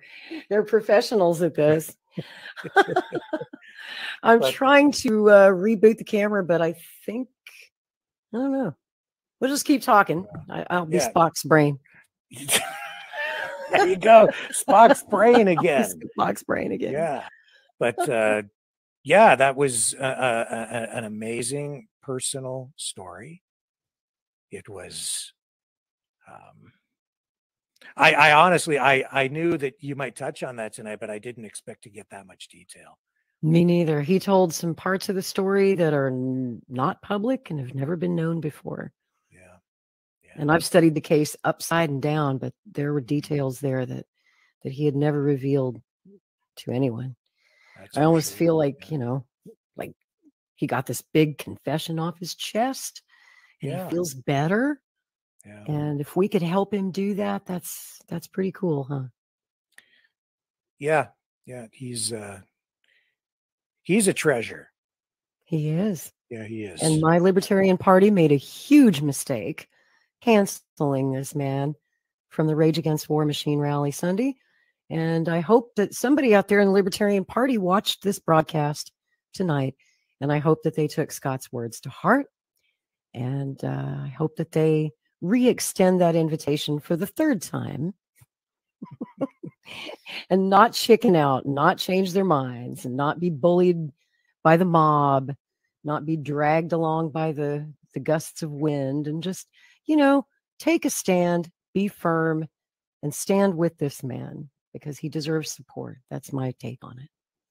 Well, with that, we will wrap up for the night. Everybody, thank you. yeah i guess so my camera's here. dead we'll call Yeah. it a night Um, my cat killed my camera um, at least he waited until scott left though yeah. that would have been terrible So, so thank you, Maverick family, new viewers, wherever you're tuning in from tonight. Tuning in. I'm so old. Um, don't touch that dial. Don't touch that uh, dial we'll, we'll all be back tomorrow, 6 p.m. Eastern Standard Time. Um, on, bes- on behalf of myself and Spock's brain. Thank you. See you tomorrow. good night